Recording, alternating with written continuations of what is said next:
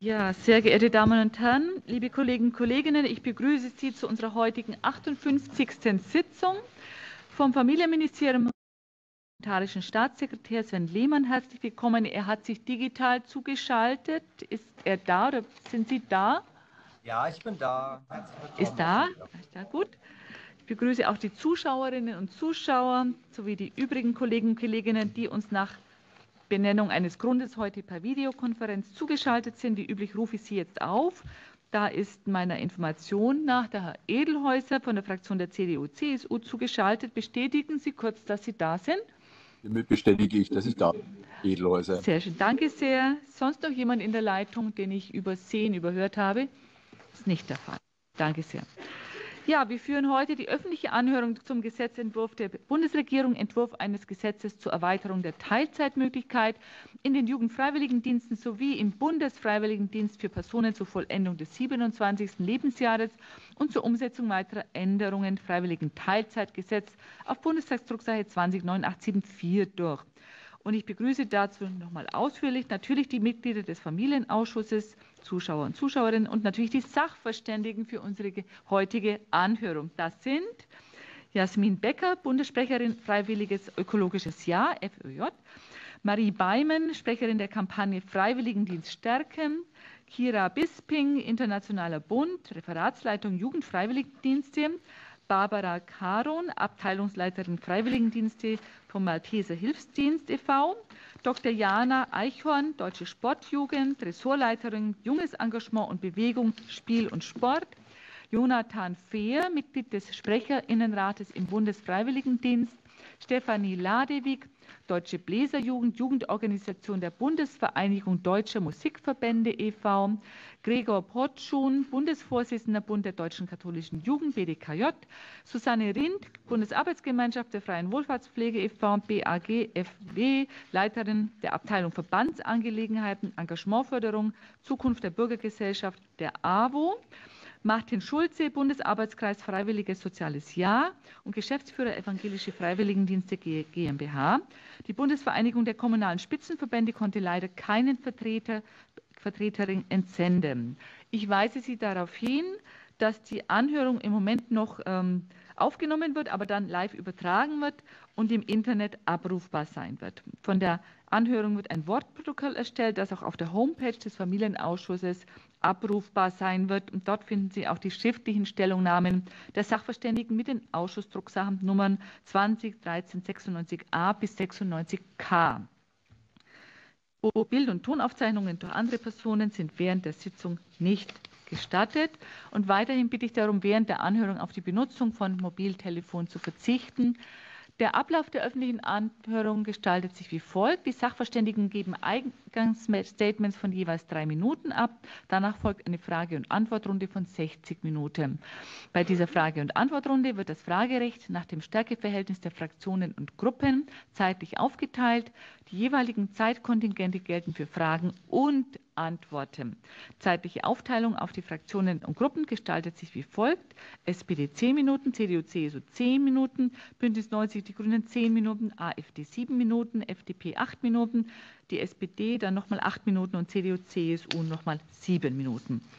Ich wäre Ihnen dankbar, wenn jede Fragestellerin und jeder Fragesteller in einem Beitrag maximal zwei Fragen an einen oder zwei Sachverständige richten würden. Ein Hinweis noch zum Zeitmanagement. Die, die jeweils zur Verfügung stehende Zeit wird Ihnen über den Monitor im Saal sowie in der Videokonferenz angezeigt. Ich bitte die Fragenstellenden sowie die Sachverständigen darum, diese Uhr jeweils im Blick zu behalten. Wir beginnen nun mit der öffentlichen Anhörung zu dem Gesetzentwurf der Bundesregierung, Entwurf eines Gesetzes zur Erweiterung der Teilzeitmöglichkeit in den Jugendfreiwilligendiensten sowie im Bundesfreiwilligendienst für Personen vor Vollendung des 27. Lebensjahres und zur Umsetzung weiterer Änderungen, das Freiwilligen Teilzeitgesetz auf Bundestagsdrucksache 209874. Und zunächst bitte ich die Sachverständigen, mein kurzes Eingangsstatement von jeweils drei Minuten. Und ich bitte nun zunächst Frau Becker um ihr Eingangsstatement und erteile dann den weiteren Sachverständigen in alphabetischen Reihenfolgen das Wort. So, also kann es losgehen. Frau Becker macht den Anfang. Bitte sehr. Sehr geehrter, Sehr geehrte Mitglieder des Familienausschusses, mein Name ist Nesmin Becker, ich bin 18 Jahre alt und mache im, äh, im aktuellen Jahrgang mein freiwilliges ökologisches Jahr in Schleswig oh. Und mache im aktuellen Jahrgang Fre mein freiwilliges ökologisches Jahr im Bundesland Schleswig-Holstein im Fledermauszentrum Noctalis. Der vorliegende Gesetzesentwurf zur Verbesserung der Teilzeitmöglichkeiten in den Freiwilligendiensten ist ein guter Schritt in die richtige Richtung, um den Freiwilligendienst wieder attraktiver zu machen. Die Möglichkeit, einen Freiwilligendienst in Teilzeit zu absolvieren, ohne triftige persönliche Gründe angeben zu müssen, macht die Freiwilligendienste für eine breitere Zielgruppe zugänglich und wird den individuellen Bedürfnissen der Freiwilligen besser gerecht. Es ist allerdings auch wichtig zu beachten, dass die Einführung von Teilzeitoptionen allein jedoch nicht ausreicht, um Bedürfnisse der Freiwilligen vollständig zu adressieren. So könnte die, äh, die vorliegende Änderung beispielsweise dazu führen, dass Freiwillige aufgrund finanzieller Not gezwungen werden, einen Nebenjob auszuüben, obwohl sie sich aus diversen Gründen für den Teilzeitfreiwilligendienst entschieden haben. Ich halte es für wichtig, dass das Taschengeld bei einem Freiwilligendienst in Teilzeit nicht gekürzt wird, zum einen ist das Taschengeld als eine Vergütung für das grundsätzliche zivilgesellschaftliche Engagement und nicht als eine Entlohnung pro geleisteter Stunde gedacht. Zum anderen könnte es zu einer Abgrenzung Freiwilliger untereinander kommen, wessen Engagement in Anführungsstrichen mehr wert ist. Zudem sehe ich eine Kürzung als unsolidarisch den Freiwilligen gegenüber, die gerne einen, Freiz einen Freiwilligendienst in Vollzeit leisten würden, aber schlicht nicht in der Lage dazu sind. Zusätzlich möchte ich anmerken, dass die vorgeschlagene Erhöhung der Höchst des Taschengeldes auf 8 Prozent alleinig nicht ausreicht. Bereits jetzt haben die wenigsten Träger die Möglichkeit, ein Taschengeld zu zahlen, welches sich am Höchstsatz orientiert. Die vorgeschlagene Änderung kommt also dementsprechend den wenigsten Freiwilligen wirklich zugute. Wir plädieren daher auf die Konzentration weitergehender und effektiverer Maßnahmen, wie beispielsweise die Untergrenze an Entgelt, eine wie, eine, wie, beispielsweise eine gesetzliche Untergrenze an Entgelt sowie die freie Fahrt für Freiwillige, die Befreiung des Rundfunkbeitrages und die Einführung eines Freifögs. Es muss klar sein, dass diese Forderungen kein Luxus sind, den man den Freiwilligen schenkt, um ihnen für ihr gesellschaftliches Engagement zu danken, sondern das Minimum, damit sich alle einen Freiwilligendienst überhaupt leisten können. Ich bin davon überzeugt, dass der Freiwilligendienst eine wertvolle Erf Erfahrung und Unterstützung sein sollte und sein kann. Aktuell fehlen allerdings unterstützende Maßnahmen von außerhalb. Nur so kann gewährleistet sein, dass der Freiwilligendienst allen Teilnehmern ermöglicht, sich weiterzubilden, neue Fähigkeiten zu erlernen, einen positiven Beitrag zu der Gesellschaft zu leisten. Vielen Dank. Ich danke Ihnen und es folgt Frau Beimann, Sprecherin der Kampagne Freiwilligendienst stärken. Bitte sehr. Sehr geehrte Mitglieder des Ausschusses für Familie, Senioren, Frauen und Jugend, sehr geehrte Experten und Gäste. Zuerst möchte ich mich herzlich für die Einladung und die Redemöglichkeit bedanken.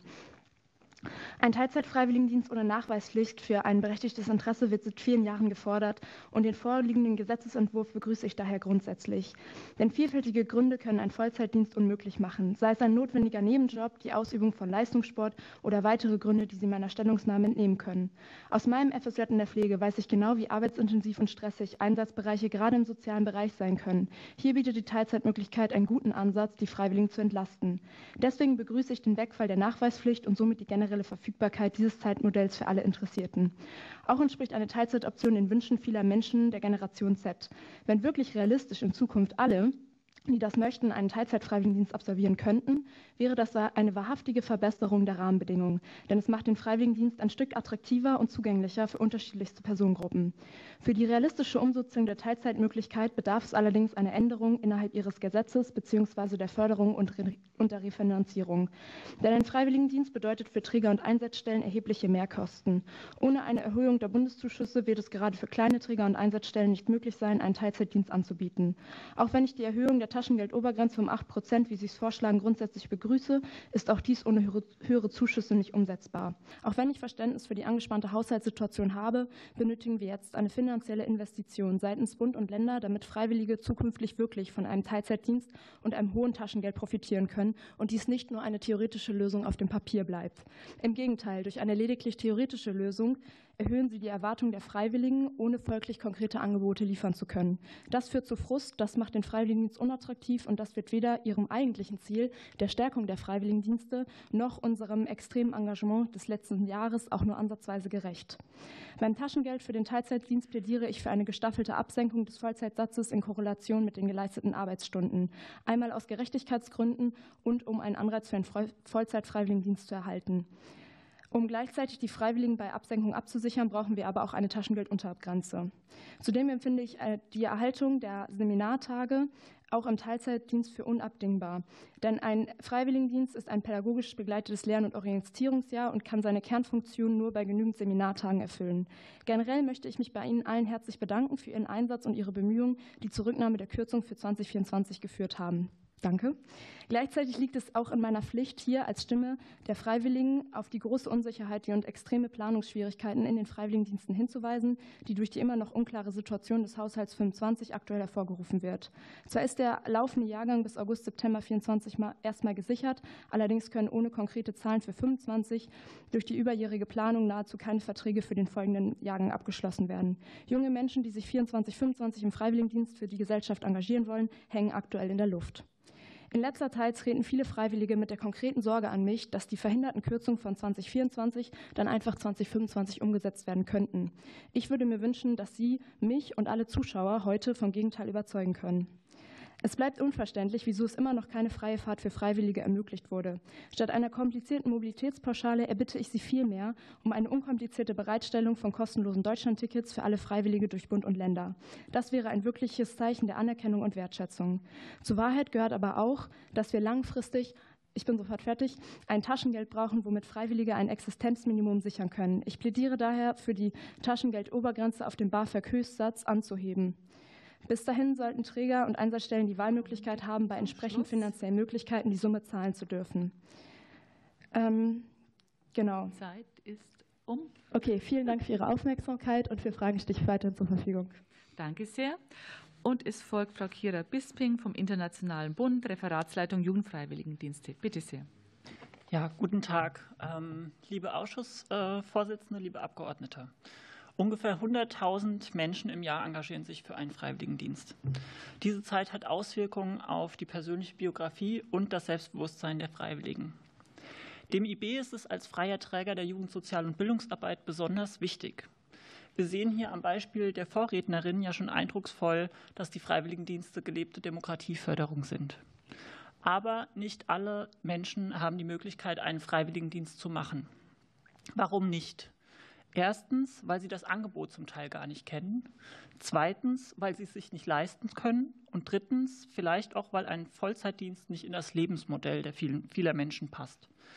Ähm, die Situation in den Freiwilligendiensten Teilzeit bei uns ist aktuell so, dass anderthalb Prozent aller Freiwilligen im FSJ einen Teilzeit-Freiwilligendienst machen. Sehr überschaubare Zahl. Warum ist das so? Weil wir keine aktive Werbung dafür machen. Und warum machen wir die nicht? Weil wir es sehr indiskret finden, ähm, ein berechtigtes Interesse bei den Bewerbenden abzufragen im Bewerbungsverfahren und ähm, ja, sich das, das auch noch mal bestätigen lassen zu müssen. Das finden wir als Verband stigmatisierend.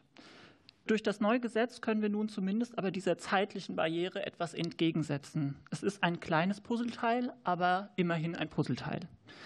Im Koalitionsvertrag steht, wir wollen die Freiwilligendienste bedarfsgerecht ausbauen. Das ist das große gemeinsame Ziel, was wir haben. Das hat die Ampel, das hat, ähm, so wie ich verstanden habe, auch die weiteren Parteien. Aber es ist auch ein Ziel von unseren Freiwilligen, von den Trägern in Einsatzstellen und von uns als Verband. Was schlagen wir also vor? Erstens, ähm, wir brauchen erstmal für die Träger eine Refinanzierung der Öffentlichkeitsarbeit.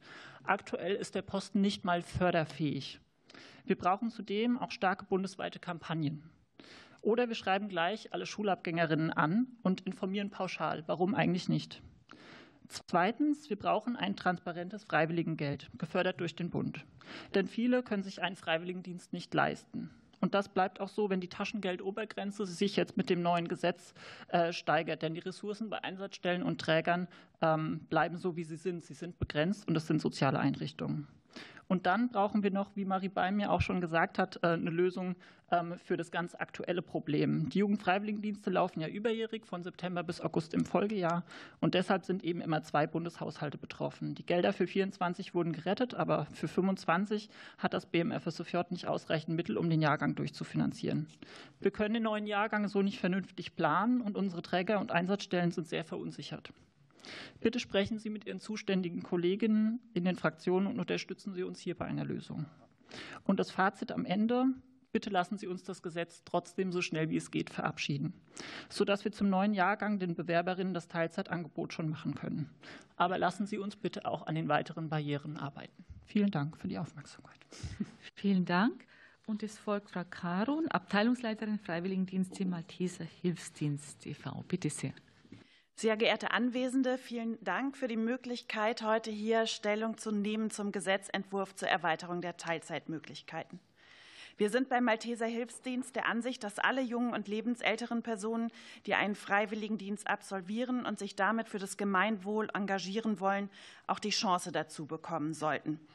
Wir stellen fest, dass bei vielen freiwilligen dienstleistenden Personen diese Bereitschaft zum sozialen Engagement in unserem Verband und darüber hinaus, sei es haupt- oder ehrenamtlich, nach dem Freiwilligendienst weitergeht und die Freiwilligendienste somit auch langfristig Wirkung zeigen. Wir freuen uns daher, dass die Bundesregierung sich mit dem vorliegenden Teilzeitgesetz darum bemüht, die Freiwilligendienste attraktiver zu gestalten. Aus unserer Sicht wird es durch die Flexibilisierung der Arbeitszeiten zu einer Ausweitung der Einsatzstellen Felder kommen. Ich war viele Jahre Leitung eines Altenheims und dachte damals immer wieder, dass eine Mitarbeit im betreuten Wohnen ein interessantes Einsatzfeld für die Freiwilligen wäre, konnte aber mit den für Laienhelfer möglichen Tätigkeiten keinen Vollzeitdienst füllen. Die Haustechnik im Altenheim wäre ebenfalls ein abwechslungsreiches Einsatzfeld für junge Menschen, die technisch affin sind und dies mit sozialem Engagement koppeln wollen. Es gab aber keine in Vollzeit beschäftigte Person, die dies hätte begleiten können. Beides sind im sozialen Feld kein Einzelfall und so freuen wir uns, dass zukünftig Dienste in Teilzeit möglich sein werden.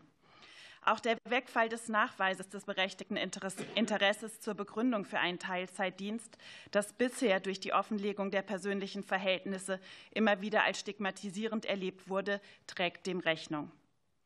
Ein Freiwilligendienst kommt allerdings nur dann in Frage, wenn man ihn sich finanziell leisten kann. Die Erhöhung des Tasch der Taschengeldobergrenze und die Einführung des Mobilitätszuschlages sind aus unserer Sicht jedoch nicht geeignet, die finanzielle Besserstellung der Freiwilligen tatsächlich zu erreichen. Die Einsatzstellen können diese Anhebung angesichts ihrer prekären finanziellen Situation und den eben schon ähm, beschriebenen Unklarheiten zur Haushaltssituation schlichtweg nicht leisten. Schon heute wird die Obergrenze so gut wie nie ausgeschöpft. Die Anhebung wird den Freiwilligen erst dann zugutekommen, wenn die Einsatzstellen höhere staatliche Zuschüsse und im FSJ auch Gelder für das Taschengeld bekommen. Wir fordern die Bundesregierung daher zur Nachbesserung auf, und zwar für jeden Vertrag, der zustande kommt und nicht nur für vorher festgelegte Kontingente. Ein zusätzlicher Aspekt, der uns aus unserem alltäglichen Kontakt zu den Freiwilligen heraus beschäftigt, sind die Konsequenzen einer verkürzten Arbeitszeit hinsichtlich der Anerkennung für die Fachhochschulreife und das Studium. Aus unserer Sicht resultiert daraus für die pädagogischen Fachkräfte der Träger in der Bewerbungsphase und auch, da wir davon ausgehen, dass eine Anpassung während des Dienstes möglich ist, innerhalb der Zeit in den Einsatzstellen einen erhöhten Beratungsaufwand. Sollte am Ende dieses Prozesses eine Anpassung der Arbeitszeit und damit ein Änderungsvertrag entstehen, kommt ein zusätzlicher Verwaltungsaufwand hinzu. Für viele der jungen freiwilligen Dienstleistenden ist das FSJ oder der BFD der erste Kontakt zur Arbeitswelt. Sie haben daher keine genauen Vorstellungen davon, was auf sie zukommt und was von ihnen erwartet wird. Dies hat sich durch Corona noch verstärkt, da viele Praktika und Veranstaltungen zur Berufsorientierung ausgefallen sind. Was zum Beispiel Schichtdienst im Rettungsdienst oder Krankentransport bedeutet, lernen die Freiwilligen dann erst innerhalb des Dienstes, nämlich das Wegweilen von Hobbys und Kontakten. Gleiches gilt für die daraus belastende Wenn Konfrontation mit Alter, Krankheit und Tod, bei der der ein oder andere wird da, wie analog zu den Fachkräften, der Gedanke aufkommen, die Arbeitszeit zu reduzieren und somit für Ausgleich zu sorgen. In diesem Prozess gilt es, die jungen Menschen wertschätzend zu begleiten. Okay. Vielen Dank. Danke sehr. Und es folgt Frau Dr. Eichhorn von der Deutschen Sportjugend, Ressortleiterin Junges Engagement, Bewegung, Spiel und Sport. Bitte sehr. Sehr geehrte Damen und Herren, ich bedanke mich im Namen der Deutschen Sportjugend dafür, heute auch die Freiwilligendienste im Sport vertreten zu können. Das hier diskutierte Gesetz hat zwei Schwerpunkte, die Teilzeitmöglichkeiten und das Taschengeld. Und zu beiden möchten wir Stellung nehmen. Die Deutsche Sportjugend wird es sehr begrüßen, ihren Freiwilligen ein höheres Taschengeld zahlen zu können. Schon heute aber nutzt keine unserer Einsatzstellen den möglichen Höchstbetrag aus. Denn das Taschengeld wird im FSJ durch den Bund ja gar nicht gefördert. Im Regelfall muss es komplett von den Sportvereinen aufgebracht werden. Es wird für unsere Freiwilligen also überhaupt keinen Unterschied machen, ob der Höchstbetrag angehoben wird oder nicht weil sich die Sportvereine gar nicht leisten können, noch mehr Taschengeld zu zahlen. Aber vielleicht wird es für den einen oder anderen Interessierten einen Unterschied machen. Er wird nämlich nicht im Sport bleiben, wo das Taschengeld bei der Zeit 300 Euro ist, sondern sich eine Einsatzstelle suchen, die tatsächlich aus dem einen oder anderen Grund mehr zahlen kann. Ungewollt und ungeplant werden unsere Einsatzstellen damit auch Freiwillige verlieren, die sehr gerne bei uns ihren Dienst ableisten würden und ähm, an dieser Stelle für ein langfristiges Engagement gewonnen werden könnten. Wir wünschen uns an dieser Stelle eine Förderung, die uns erlaubt, Freiwillige für ihren großartigen Beitrag gegen den Bewegungsmangel bei Kindern besser zu stellen. Sonst kommt die Gesetzesänderung dem Ziel, das Taschengeld anzuheben, leider keinen Schritt näher. Die Erweiterung der Teilzeitmöglichkeiten begrüßen auch wir. Das entspricht einem Bedarf. Schon heute aber führt, Frau Caron hat es ausgeführt, die neue Teilzeitoption zu sehr vielen Nachfragen. Unser Freiwilligendienst wird beispielsweise häufig dazu genutzt, einen, die Möglichkeit zu einem Studium zu erwerben. Fachhochschulreife erfordert ein praktisches Jahr. Was passieren wird, wenn ein Freiwilligendienst in Teilzeit abgeleistet wird, ist aber noch völlig unklar. Diese neue Vielfalt des Freiwilligendienstes erhöht also den Beratungs- und Informationsbedarf. Gerne erfüllen wir diese Aufgabe, aber Bewerbungsverfahren, Informationen, Öffentlichkeitsarbeit sind gar nicht förderfähig. Auch der Betrag, mit dem der Bund die pädagogische Begleitung fördert,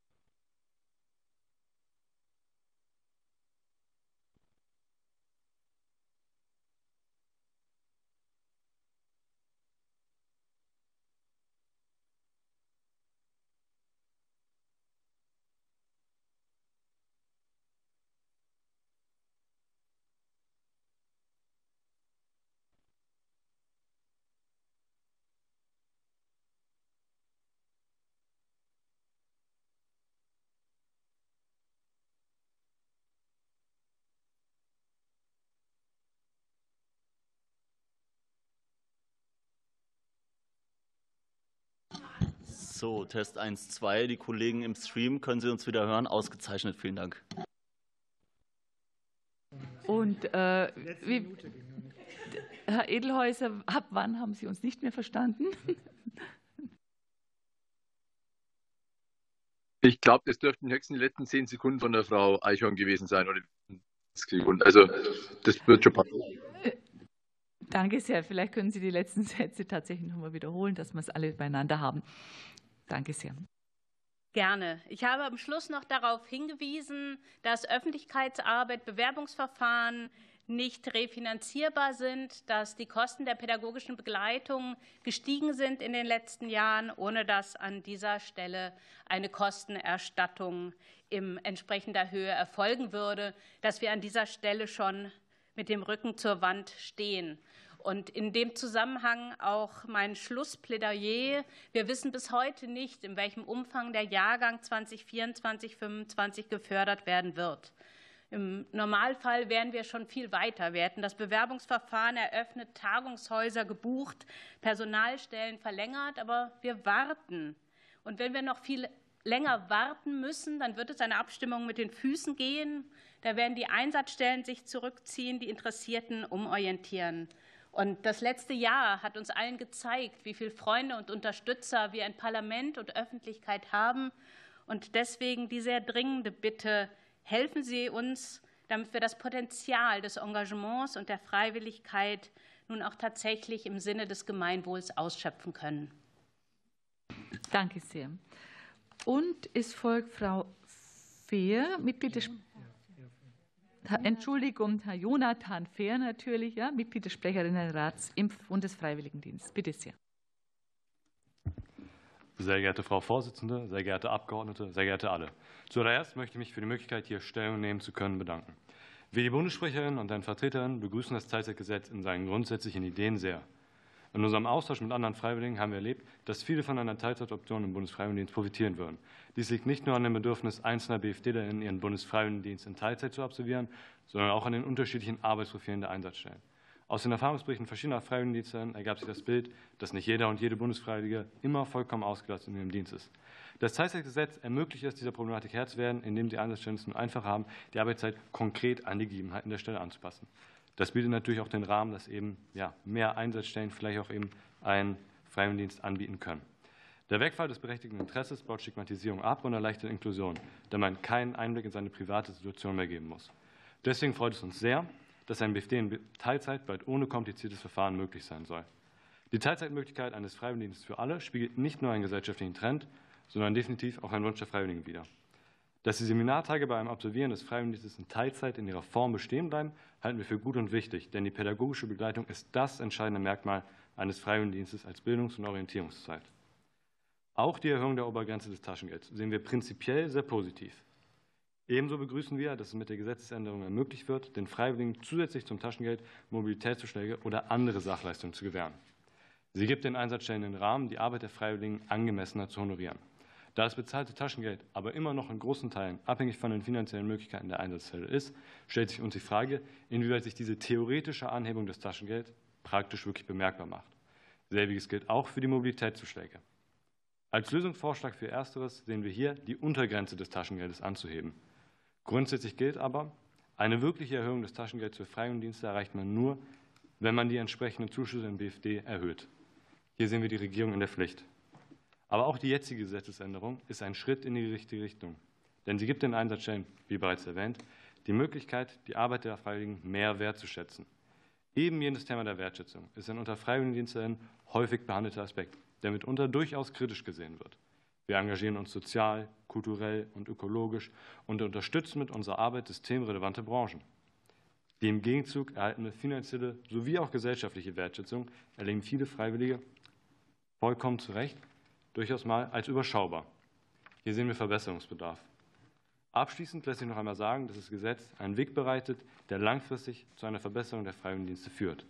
Wir würden uns aber wünschen, wenn man diesen Weg etwas mutiger, schneller und auch mit größeren Schritten begeht. Vielen Dank. Danke sehr. Und es folgt Frau Ladewig von der Deutschen Bläserjugend, der Jugendorganisation der Bundesvereinigung Deutscher Musikverbände e.V. Bitte sehr. Sehr geehrte Frau Vorsitzende, sehr geehrte Mitglieder des Familienausschusses, ich danke Ihnen herzlich für die Gelegenheit, heute an dieser Anhörung teilzunehmen. Als pädagogische Referentin für den Bundesfreiwilligendienst 27 Plus liegt mein Fokus auf unserer langjährigen Erfahrung mit dem BFD in Teilzeit und unserer Einschätzung der zu erwartenden Auswirkungen der Gesetzesänderung auf ehrenamtlich geführte Einsatzstellen. Die Deutsche Bläserjugend ist seit 2012 Träger des Bundesfreiwilligendienstes Kultur und Bildung für alle Mitgliederstrukturen der Bundesvereinigung Deutscher Musikverbände e.V. sowie für alle Verbände und Vereine der Instrumental- und Vokalmusik in Deutschland. In dieser Funktion durften wir seither rund 800 Freiwillige in über 300 Einsatzstellen bundesweit begleiten. Im Kontrast zu unserem Namen Deutsche Bläser Jugend gehören unsere Freiwilligen überwiegend zur Generation 50 plus. Dadurch profitieren sie bereits von der Möglichkeit, ihren BFD in Teilzeit absolvieren zu können. Dies kommt nicht nur den Freiwilligen zugute, die ihren Dienst besser mit ähm, anderen, Vereinbar äh, anderen Verpflichtungen vereinbaren können, sondern auch den Einsatzstellen. Unsere bundesweit verteilten Einsatzstellen sind größtenteils ehrenamtlich organisiert, was zur Folge hat, dass sie einige der gesetzlichen Anforderungen eines Freiwilligendienstes in Vollzeit nur schwer gerecht werden können. Viele unserer Einsatzstellen und Vereine würden aber gerne mit Menschen unter 27 Jahren zusammenarbeiten. Daher begrüßen wir die Flexibilisierung der Teilzeitregelung in den Freiwilligendiensten und befürworten auch die Erhöhung der Taschengeldhöchstgrenze. Wir weisen aber an dieser Stelle darauf hin, dass Freiwillige gerade in ehrenamtlich geführten Einsatzstellen wie unseren äh, nur von einer höheren Taschengeldhöchstgrenze profitieren können, wenn zugleich der Zuschuss des Bundes für die pädagogische Begleitung angehoben wird. Gleichzeitig sehen wir ein großes Potenzial für Einsatzstellen und Vereine, durch die Zusammenarbeit mit jungen Menschen im gesteigerten Maße positiven Einfluss auf ihr Eigenleben und Wirken sowie ihre Gemeinden zu nehmen. Letzteres möchte ich noch mal kurz weiter erläutern. 70 Prozent unserer möglichen Einsatzstellen befinden sich in Ortschaften mit weniger als 2000 EinwohnerInnen. Im Rahmen des BFDs geben sie den Gemeindemitgliedern die Möglichkeit, aktiv ihre Gemeinschaft zu gestalten und die demokratische Kultur vor Ort zu stärken. Auf diese Weise wirken unsere Einsatzstellen wie kleine Demokratiewerkstätten und eröffnen Räume für einen generationsübergreifenden Dialog in ländlichen Regionen. Das hier gelebte Engagement ist eine Bereicherung für die Freiwilligen, für die Einsatzstellen, ihre Gemeinden und unsere Gesellschaft. Schließlich stellen wir als Träger nicht nur in Krisenzeiten fest, dass jene Mitgliedsverbände und Vereine, die im Rahmen des BFDs aktiv Unterstützung erhalten, durch eine höhere Dynamik und Resilienz hervorstechen. Das hier gelebte, äh, dieses Engagement gilt es zu bewahren und sicherzustellen, dass den Freiwilligendiensten auch in den kommenden Jahren ausreichend Mittel zufließen. Wir empfehlen daher ein schnelles und klares Signal seitens der Politik, dass auch im Haushaltsjahr 2025 genügend Kontingente für die Freiwilligendienste zur Verfügung stehen. Vielen Dank für Ihre Aufmerksamkeit. Vielen Dank. Und es folgt Herr Gregor Potschun, Bundesvorsitzender des Bundes der Deutschen Katholischen Jugend, BDKJ. Bitte sehr. Äh, liebe Frau Ausschussvorsitzende, Frau Bahr, äh, liebe Mitglieder des Ausschusses, vielen Dank für die Möglichkeit, hier als Sachverständiger sprechen zu dürfen für den Bund der deutschen katholischen Jugend, den BDKJ. Als Dachverband von 17 katholischen Jugendverbänden mit ungefähr 660.000 Mitgliedern vertreten wir die Interessen von Kindern, Jugendlichen und jungen Erwachsenen. Zudem sind wir gemeinsam mit dem Deutschen Caritasverband Zentralstelle für das FSJ und sprechen daher auch für 27 katholische FSJ-Träger und gut 10.000 FSJlerInnen. Wie bereits in unserer schriftlichen Stellungnahme ausgeführt, begrüßen wir als BDK die Novellierung zum Freiwilligen Teilzeitgesetz. Ein Freiwilligendienst in Teilzeit ohne den Nachweis eines sogenannten berechtigten Interesses seitens der TeilnehmerInnen macht die Dienste attraktiver für unterschiedliche Personengruppen. Wir denken hier insbesondere an Personen, denen das Engagement im Rahmen eines Freiwilligendienstes in Vollzeit aus ökonomischen Gründen nicht möglich wäre. Auch in Teilzeit bleibt der Freiwilligendienst primär ein Bildungs- und Orientierungsjahr für junge Menschen. Wertvolle Unterstützung bei der Verwirklichung dieses Grundrechts auf Bildung leistet die professionelle pädagogische Begleitung durch unsere Träger. Als BDK unterstützen wir daher die Regelung, bei der Anzahl der Seminartage nicht nach Vollzeit- und Teilzeitdienst zu unterscheiden. Im Kontext der aktuellen gesellschaftlichen Debatte um, um eine soziale Dienstpflicht für junge Menschen und um die Wiedereinsetzung der Wehrpflicht und gleichzeitig einer Debatte um die Kürzung der Fördermittel des Freiwilligendienstes bleibt die Novellierung jedoch hinter einer zukunftsfähigen Reform zurück. Sie verpasst somit die historische Gelegenheit, ein Recht auf Förderung einer jeden geschlossenen Vereinbarung zwischen Freiwilligen, Einsatzstellen und Trägern gesetzlich zu verankern und so in Kombination mit der Teilzeitmöglichkeit wirklich allen Menschen einen Freiwilligendienst zu ermöglichen. Gemeinsam mit einer entsprechenden Informationskampagne und einer Einladung an die Gesellschaft zu einem Freiwilligendienst könnte die Anzahl an Freiwilligendienstleisten pro Jahrgang verdoppelt werden. So kann ein freiwilliges Recht auf Dienst zum konkreten Gegenentwurf Entwurf zu einer unsolidarischen Pflicht zum Dienst werden. So ebenfalls die Bundesregierung einen tatsächlichen nachfragegerechten Ausbau der Freiwilligendienste realisieren, wie es 2021 im Koalitionsvertrag festgehalten wurde. Darüber hinaus berücksichtigt der Gesetzentwurf die Forderungen der über 1000-fachen gezeichneten Petition zur Stärkung der Freiwilligendienste nicht hinreichend. So ermöglicht beispielsweise die Erhöhung der Taschengeldobergrenze zwar theoretisch die Auszahlung eines höheren Taschengelds, Allerdings müssen die Mehrkosten durch die Einsatzstellen oder Träger getragen werden, die dies aufgrund finanzieller Ressourcen nicht umsetzen werden. Eine reelle Erhöhung des Taschengeldes im Freiwilligendienst ist daher nicht zu erwarten. Freiwilligendienste sind ein Gewinn hoch drei für Freiwillige, für die Einsatzstelle und für unsere Gesellschaft. Alle drei Bereiche ließen sich, in allen drei Bereichen ließe sich der Gewinn durch einen Rechtsanspruch auf Förderung maximieren. Hierfür erscheinen entsprechende Nachbesserungen am Gesetzentwurf zutiefst angezeigt. Ein mögliches Konzept liegt im Bundesministerium für Familie, Senioren, Frauen und Jugend mindestens seit 2018 als Jugendfreiwilligenjahr der damaligen Ministerin Giffey vor. Vielen Dank. Danke sehr. Und es folgt Frau Susanne Rindt von der Bundesarbeitsgemeinschaft der Freien Wohlfahrtspflege, Leiterin der Abteilung Verbandsangelegenheiten, Engagementförderung und Zukunft der Bürgergesellschaft der AWO. Bitte sehr. Danke, Frau Vorsitzende. Ähm, sehr geehrte Abgeordnete, Danke für die Möglichkeit, dass ich hier für die Wohlfahrtsverbände ähm, noch mal Stellung nehmen kann zu dem Gesetzesentwurf. Ich will mich bemühen, nicht alle Aspekte, die meine Vorrednerinnen und Vorredner schon vorgebracht haben, noch mal zu wiederholen. Ähm, ich würde äh, zunächst äh, vor allem was zu der Flexibilisierung der Teilzeitmöglichkeiten sagen. Die Wohlfahrtsverbände begrüßen grundsätzlich die Einführung der Teilzeitmöglichkeit, begrüßen es, dass damit Zugangshürden abgebaut werden und die Freiwilligendienste für weitere Zielgruppen Gruppen besser geöffnet werden können. Wir wissen, dass Teilzeitmöglichkeiten den Bedarfen vieler junger Menschen entsprechen, äh, auch viele Einsatzstellen. Und äh, es ist auch generell sicher ein ähm, gesellschaftlicher Trend. Ähm, die BAGFW begrüßt es außerdem, dass Einvernehmen der Beteiligten, also insbesondere der Einsatzstellen und der Freiwilligen, hergestellt werden muss, dass also kein Rechtsanspruch in diesem Sinne auf Teilzeit besteht. Alles andere wäre in unseren Augen auch praxisfern gewesen. Wir möchten in dem Zusammenhang aber gern noch anregen, im Gesetzestext ähm, bezüglich des BFD auch die Träger zu erwähnen, denn sie spielen bei den Verbänden, die den Bundesfreiwilligendienst durchführen, dieselbe Rolle wie im FSJ.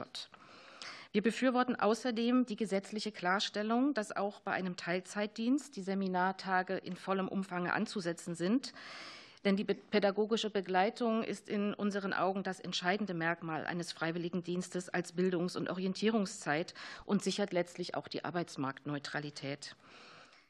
Die BAGFW geht im Übrigen davon aus, dass im Zusammenhang mit der Bedeutung der pädagogischen Begleitung ähm, durch den Bund derselbe Förderbetrag ähm, für die pädagogische Begleitung pro freiwilligen Monat gezahlt wird, wie bei Vollzeit. Denn äh, für uns, das haben die Vorrednerinnen ähm, auch ausgeführt, äh, bleibt der Aufwand der gleiche, da es wegen der Optionsvielfalt mehr Beratungs- und Abstimmungsbedarf gibt. Wir würden gerne auch eine Evaluation des Gesetzes nach drei Jahren empfehlen. Ähm, also die interessanten Fragen wären unter anderem, gibt es durch die Teilzeitoption mehr an einem Freiwilligendienst interessierte Menschen? Werden vielfältigere Zielgruppen erreicht? Welche Hürden bestehen gegebenenfalls weiter? Ähm, das sind Fragen, die sicherlich im Interesse ähm, aller Beteiligten wären. Dann erlauben Sie mir noch ein paar Anmerkungen zur Erhöhung der Taschengeldobergrenze. Auch die begrüßen die Wohlfahrtsverbände ganz grundsätzlich. Ähm, auch die Regelung, die Mobilitätszuschläge zu erhöhen. Wir sehen das als Ausdruck der Anerkennung. Es schafft Zugänge für junge Menschen aus Haushalten mit geringem Einkommen. Aber auch das haben meine Vorrednerinnen schon ausgeführt, äh, sehen wir hier Grenzen der Einsatzstellen, ähm, das auch dann zu refinanzieren. Und äh, abschließend äh, möchte ich gerne zu dem ganz großen Aber kommen. Auch da darauf haben meine Vorrednerinnen schon ähm, Bezug genommen. Angesichts der schwierigen aktuellen Haushaltslage für die Freiwilligendienste bezweifeln wir, dass die Gesetzesänderung ihre umfassende Wirkung entfalten kann. Ähm, ich glaube, die Zahlen, die Kürzungen, die ins Haus stehenden oder in, in, äh, in Diskussion stehenden Kürzungen von bis zu 30 Prozent äh, der Freiwilligenplätze äh, muss ich hier nicht weiter ausführen. Das ist eine, ein gewisses Bedrohungsszenario für die Freiwilligendienste. Und in diesem Kontext sind die zu begrüßenden Änderungen ähm, in, unter Umständen in ihrer, in ihrer Wirksamkeit eingeschränkt. Vielen Dank. Danke sehr. Und es folgt Herr Martin Schulze vom Bundesarbeitskreis Freiwilliges Soziales Jahr und Geschäftsführer Evangelische Freiwilligendienste GmbH. Bitte sehr. Ja, sehr geehrte Frau Ausschussvorsitzende Bahr, sehr geehrte Ausschussmitglieder des Familienausschusses, ja, auch ich danke ganz herzlich, dass ich hier für den Bundesarbeitskreis ein, äh, Stellung nehmen darf zum Gesetzentwurf. Ich verweise grundsätzlich auf das schriftliche, die schriftlich eingereichte Stellungnahme und möchte nur ein paar Punkte noch mal unterstreichen. Es ist ja auch einiges schon gesagt worden. Der Bundesarbeitskreis begrüßt die Einführung einer generellen Teilzeitmöglichkeit in den Freiwilligendiensten. Die Orientierung an den Bedarfen vieler junger Menschen mit Blick auf die flexibleren Gestaltungsmöglichkeiten in den Freiwilligendiensten bewertet der Bundesarbeitskreis dabei ausdrücklich positiv. Sie macht das Bildungs- und Orientierungsjahr für weitere Zielgruppen attraktiv Und darüber hinaus erhöht es die Vielfalt an Einsatzstellen und Einsatzbereichen, da dadurch auch Einsatzstellen beteiligt werden können, die einen Vollzeitdienst nicht anbieten können. Für einen erfolgreichen Freiwilligendienst ist die pädagogische Begleitung durch die Träger unter anderem in den Bildungsseminaren von großer Bedeutung. Wir begrüßen es deshalb, dass die pädagogische Begleitung über die Seminartage in vollem Umfang erhalten bleibt, unabhängig davon, ob ein Dienst in Voll- oder Teilzeit geleistet wird. Die Freiwilligendienste werden somit in ihrer Bedeutung als Bildungs- und Orientierungsjahr bestätigt. Das richtige Matching zwischen Freiwilligen und Einsatzstellen ist schon grundsätzlich ein entscheidender Faktor, der für einen erfolgreichen Verlauf eines Freiwilligenjahres entscheidet. Dies erfordert eine ausführliche Beratung durch die Träger und ist aus unserer Sicht der Beginn des pädagogischen Prozesses. Mit der Teilzeitoption wird der Beratungsaufwand noch einmal deutlich höher. Die Beratung erfolgt dabei sowohl in Richtung der Einsatzstellen als auch der Freiwilligen. Und wenn die Freiwilligen während des Jahres von Teilzeit auf Vollzeit oder in die andere Richtung wechseln, ist ein nochmal erhöhter Aufwand zu sehen. Wir fordern daher, dass bereits die Bewerbungsphase zuwendungsfähig wird und die Mittel hierfür im BFD und im FSJ aufgestockt werden. Zur Erhöhung der Taschengeldobergrenze ist zu sagen, das geringe Taschengeld in den Freiwilligendiensten stellt tatsächlich eine Zugangsbarriere für junge Menschen mit sozioökonomisch schwierigeren Status her, die in den Freiwilligendiensten unterrepräsentiert sind. Wir begrüßen von daher ausdrücklich, wenn es zu einer realen Anhöhung, Erhöhung des Taschengeldes sowie zu Mobilitätszuschlägen kommt. Wir gehen allerdings nicht davon aus, dass die Anhebung der Höchstgrenze für das Taschengeld bei den aktuellen finanziellen Rahmenbedingungen zu erhöhten Taschengeldern führen wird. Bereits jetzt wird der maximale Taschengeldbetrag, es wurde gesagt, oft nicht ausgeschöpft. Und das hat sich durch die allgemeinen Kostensteigerungen in den letzten zwei, drei Jahren noch einmal verschärft. Die im Koalition vereinbarte Absicht, das Taschengeld der Freiwilligen zu erhöhen, wird also die Gesetzesänderung und die Anhebung der Taschengeldobergrenze allein nicht erreicht, sondern es bedarf einer Aufstockung der Fördermittel für diesen Zweck. Abschließend möchte ich noch anmerken, auch wenn der BAK die grundsätzlich geplanten äh, Änderungen im Gesetzentwurf begrüßt, werden diese in der Praxis erst dann in der Breite zum Tragen kommen, wenn die Träger, Einsatzstellen und die Freiwilligen selbst durch die Gesetzgeber eine bessere finanzielle Refinanzierung erhalten. Das FSJ ist bereits jetzt als Bundesprogramm trotz teils zusätzlicher Förderung durch die Länder auf die Bundesförderung mindestens in aktueller Höhe angewiesen. Die massiven Kostensteigerungen, insbesondere der pädagogischen Begleitung in den letzten beiden Jahren, Einsatz, äh, Seminarhäuser und äh, Personalkosten sowie die im Raum stehenden Kürzungen der Fördermittel ab dem Jahr 2025 setzen die Freiwilligendienste massiv unter Druck und werden perspektivisch zu einer Reduzierung der Angebote führen. Die Anbieter von Freiwilligendiensten brauchen Planungssicherheit für 2025 und auch langfristig. Die gibt es aktuell nicht. Das ist derzeit das Hauptproblem in den Freiwilligendiensten und bedarf dringend einer zukunftssicheren Lösung. Ein Rechtsanspruch auf Förderung wäre hier ein wichtiger Schritt. Danke. Danke Ihnen. So, wir beginnen mit der Frage- und Antwortrunde von circa 60 Minuten. Den Anfang macht die SPD-Fraktion mit zehn Minuten und hier spricht Herr von Malotki, bitte. Ja, danke schön, Frau Vorsitzende. Danke an alle äh, Anzuhörenden heute äh, für ihre wichtigen Statements. Ähm, für uns als SPD-Fraktion ist äh, was zum Thema Freiwilligendienste besonders wichtig, dass wir eine Sicherheit für die Freiwilligendienste haben, also sowohl auch finanziell als auch was die Platzzahlen angeht. Äh, und im Zweiten ist uns für uns ganz wichtig, dass wir die materiellen Bedingungen der Freiwilligen auch verbessern. Ähm, da auch in diese Richtung gehen auch meine beiden Fragen. Meine erste Frage wäre an Frau Eichhorn, aber gerne auch an Frau Rindt und Herrn Schulze. Frau Beim und auch alle anderen haben sehr stark dargestellt, dass wir ein Problem mit 2025 haben und dem Jahrgang 2024, 2025.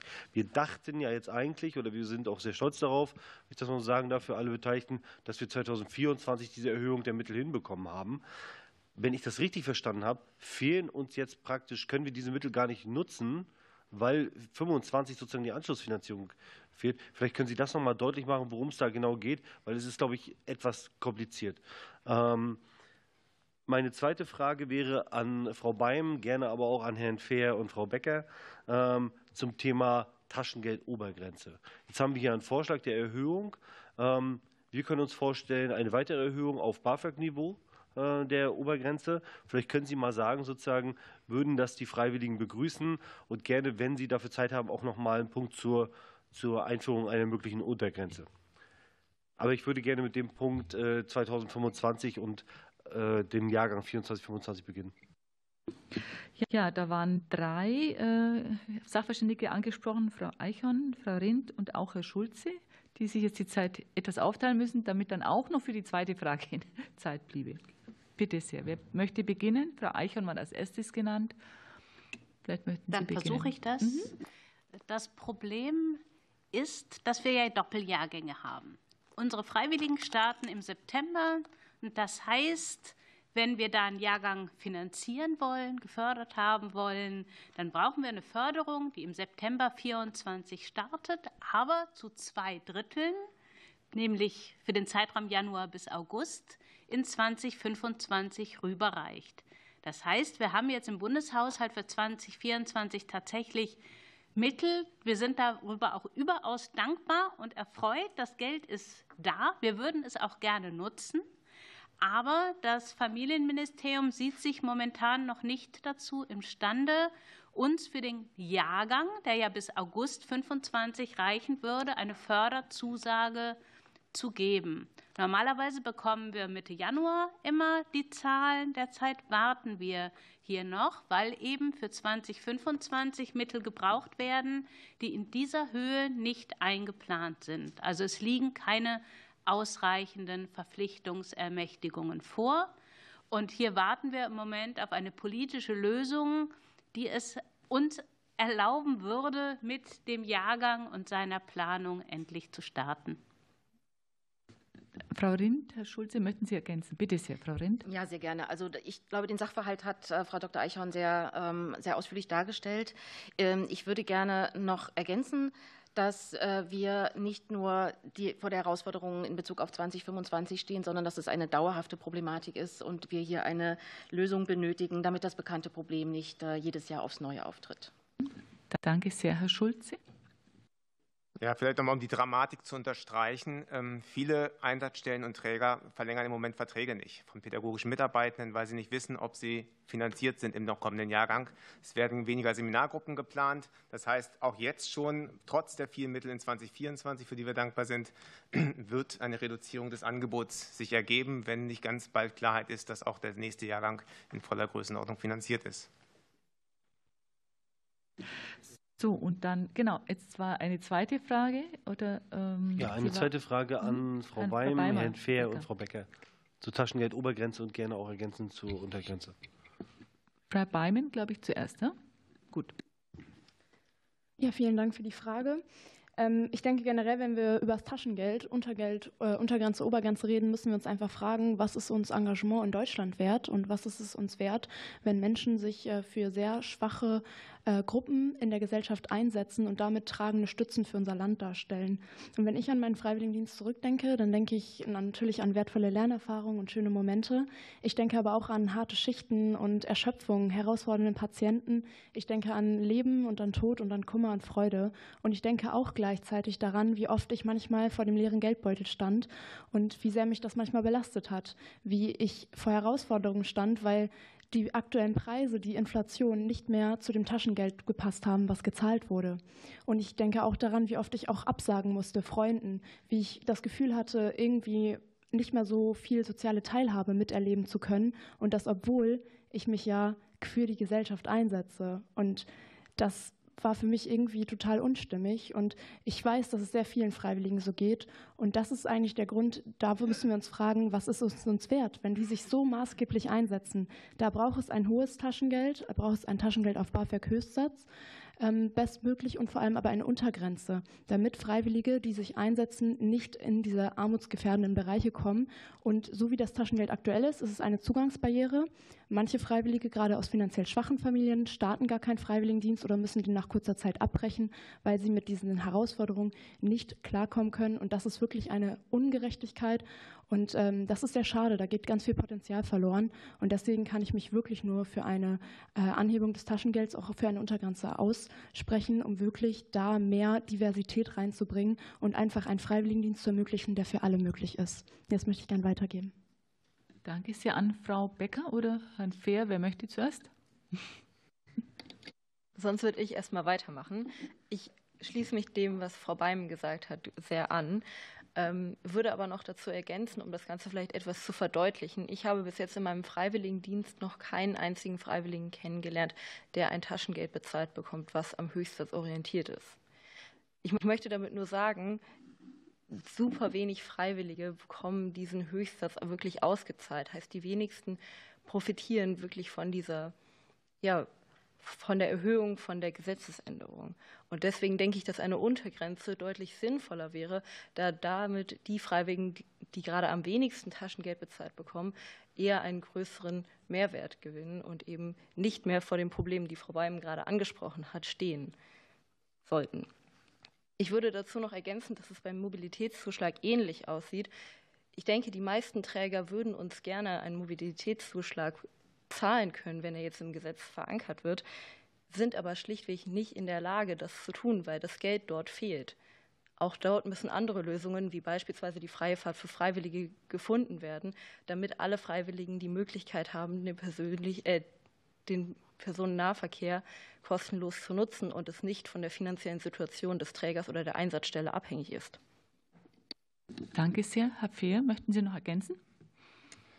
Ja, also ich kann mich auf jeden Fall Frau Beim und Frau Becker da anschließen. Also grundsätzlich geht es bei den Freiwilligendiensten ja um das Engagement. Das heißt, niemand hat hier das Ziel oder will das große Geld verdienen.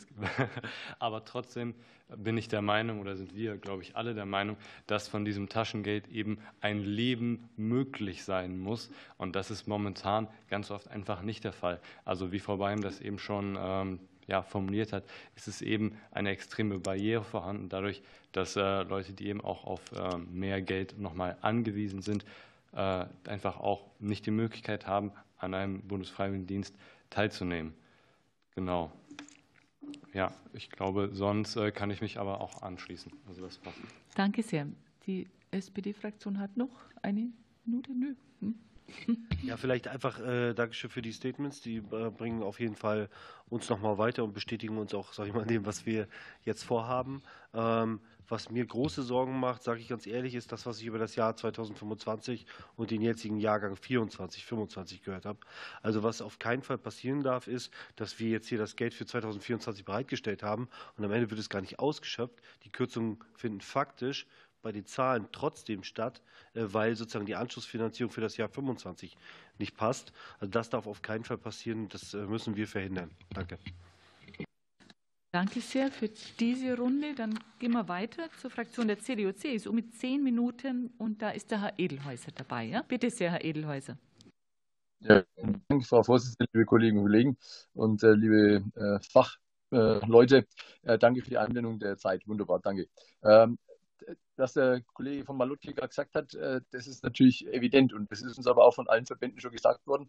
Äh, es hilft jetzt nichts, den Sprung für das Jahr 2024 hinzukriegen und 2025 dann im Regen zu stehen. Und das wurde heute nochmal eindrücklich und äh, mehr als anschaulich auch bestätigt. Also nicht einen Schritt zu tun, sondern den weiteren Schritt beziehungsweise dann die weiteren Schritte einer Verstetigung. Jetzt äh, zunächst zu meinen äh, Fragen mit dazu. Äh, ich würde als erstes den Bundesarbeitskreis Freiwilliges Soziales Jahr, den Herrn Schulze, ähm, äh, kontaktieren und zwar äh, Sie haben ja in Ihrer Stellungnahme ausgeführt, äh, dass viele Träger ja die nötigen Ressourcen und auch die anderen Fachreferenten haben das gesagt, die nötigen Ressourcen einfach nicht da sind, um wirklich diese Taschengelderhöhung oder und auch die Mobilitätszuschlag wirklich in der Praxis umzusetzen. Also Theorie gut, Praxis dann schwierig.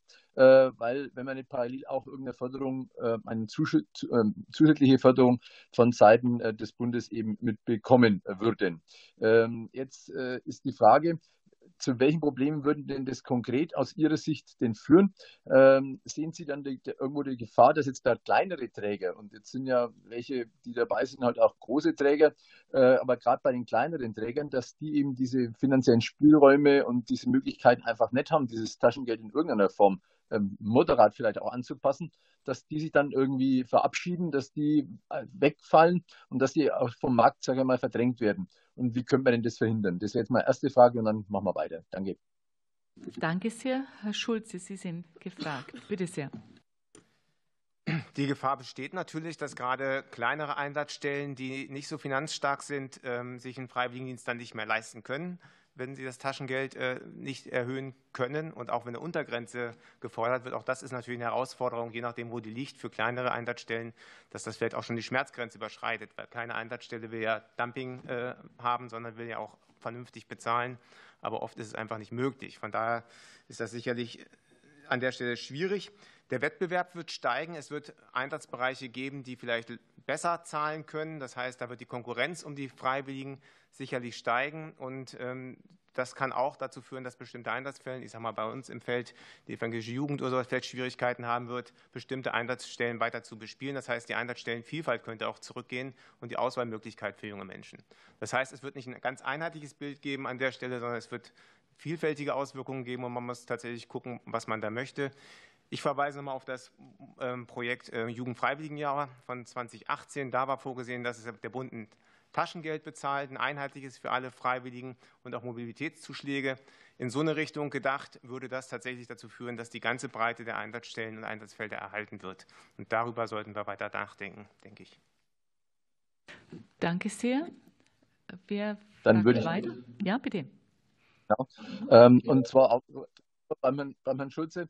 Ähm, und zwar dahingehend, jetzt haben wir auch heute schon gehört, dass äh, bei den Freiwilligendiensten hauptsächlich ja, sagen wir mal, der mittelständische Haushalt äh, kommt. Also die, die sich einfach sozioökonomisch, wie es fachdeutsch auch äh, gesagt worden ist, ähm, sich das leisten können. Jetzt ist die Frage mit der Einführung von, der, von dem Freiwilligendienst in Teilzeit, könnte das damit Ihrer Meinung nach besser gelingen, dass man die Menschen aus finanzschwächeren Familien dann auch für so eine Teilhabe und für so eine Teilnahme an einem Freiwilligendienst begeistern? Äh, klappt es oder sagen Sie, naja, die Theorie könnte klappen, aber wie schaut es aus? Das geht nochmal an Sie, Herr Schulze. Ja.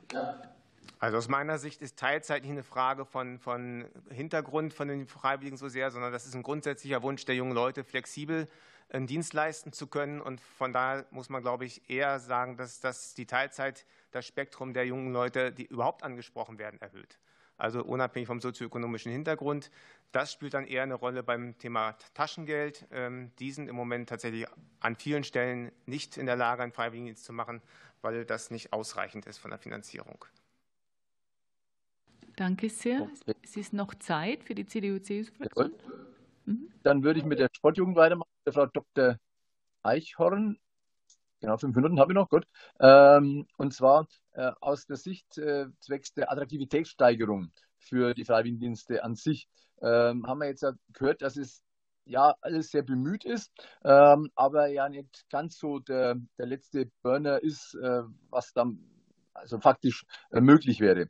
Ähm, jetzt die Frage, jetzt wenn man so eine Prioritätenliste, so, so Top 3 Prioritätenliste, äh, wie man denn jetzt den, den Freiwilligendienst einfach attraktiver gestalten könnte.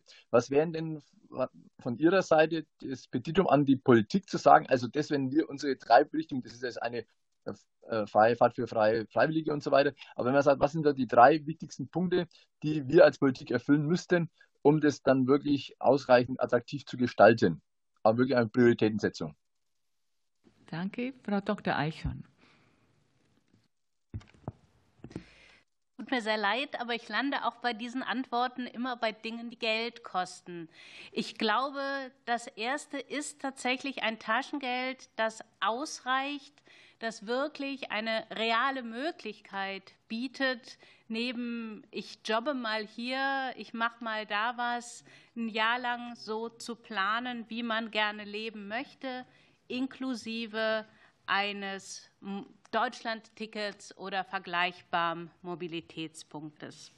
Das Zweite wäre die Frage, wie ein Freiwilligendienst angesehen wird in der Gesellschaft. Und das hat etwas damit zu tun, wie spätere Arbeitgeber, wie die Universitäten auf Freiwilligendienstableistung reagieren. Also ob es möglich ist zu sagen, ein Freiwilligendienst wird anders angerechnet als ein Wartesemester beispielsweise von den Universitäten. Es gibt Versuche, dafür ECTS-Punkte zu verteilen. Es gibt äh, Ausbildungen, bei denen mit bestimmten Schulabschlüssen Ausbildungen verkürzt werden können. Warum auch nicht bei Freiwilligendiensten? Und das Dritte ist, dass wir wirklich in der Gesellschaft eine Kultur der selbstverständlichen Freiwilligkeit brauchen. Und ich glaube, dass Herr Putschun ein sehr wichtiges Stichwort genannt hat, ein Recht auf die Förderung der Freiwilligendienste und eine Kommunikation über die Möglichkeit, Freiwilligendienste abzuleisten, und zwar für alle. Denn wenn es gelingt, zu sagen, es ist eine absolute Selbstverständlichkeit, jeder macht einen Freiwilligendienst, das gehört dazu, du musst eher begründen, warum du keinen machst, dass in den Schulen schon erläutert wird, was die Vorteile von Freiwilligendiensten sind, dass im Sportverein jeder davon ausgeht, dass die jungen Menschen nach ihrem Schulabschluss als erstes Mal für einen Freiwilligendienst dort bleiben. Dann kann sich was verschieben. Aber auch das wird voraussetzen, dass entsprechende finanzielle Mittel bereitgestellt werden. Also rein mit, mit Haltung und Wunschvorstellungen wird das leider nicht zu machen sein. Danke sehr. QE, wie viele Minuten habe ich? Zwei Minuten. Zwei Minuten, hm, Zwei Minuten acht Sekunden.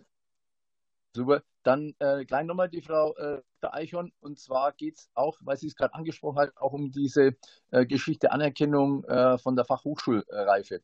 Ähm, wenn man jetzt das so sieht, sollte das aus Ihrer Sicht von der Sportjugend aus äh, ge, ja, gelingen, ähm, wenn es um die Anerkennung äh, dieses Freiwilligendienstes für die Erlangung dieser äh, Hochschulreife, Fachhochschulreife passiert. Wie wichtig ist es denn dann, das Ganze jetzt in Teilzeit ähm, zu machen, um dann das auch richtig anerkannt zu bekommen für das Studium. Ähm, wie sollte es am besten funktionieren und äh, wie soll denn da die, die Anpassung dann auch sein, dass man das auch gewährleisten kann? Danke, Frau Dr. Eichhorn.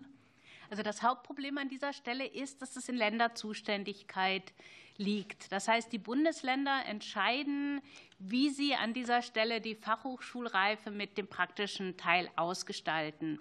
Und es gibt welche, die einfach sagen, wie Brandenburg, so und so viele Stunden müssen abgeleistet werden im Rahmen eines Praktikums, im Rahmen eines Freiwilligendienstes.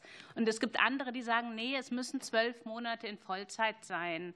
Und was wir in erster Linie bräuchten, wäre eine klare Regelung und am allerliebsten eine Regelung, die nicht für jedes Bundesland oder auch für jeden Schulbezirk anders lautet. Denn das erschwert uns die Beratungsarbeit sehr. Wir haben im Bundesfreiwilligendienst Träger, die sind in 16 Bundesländern aktiv.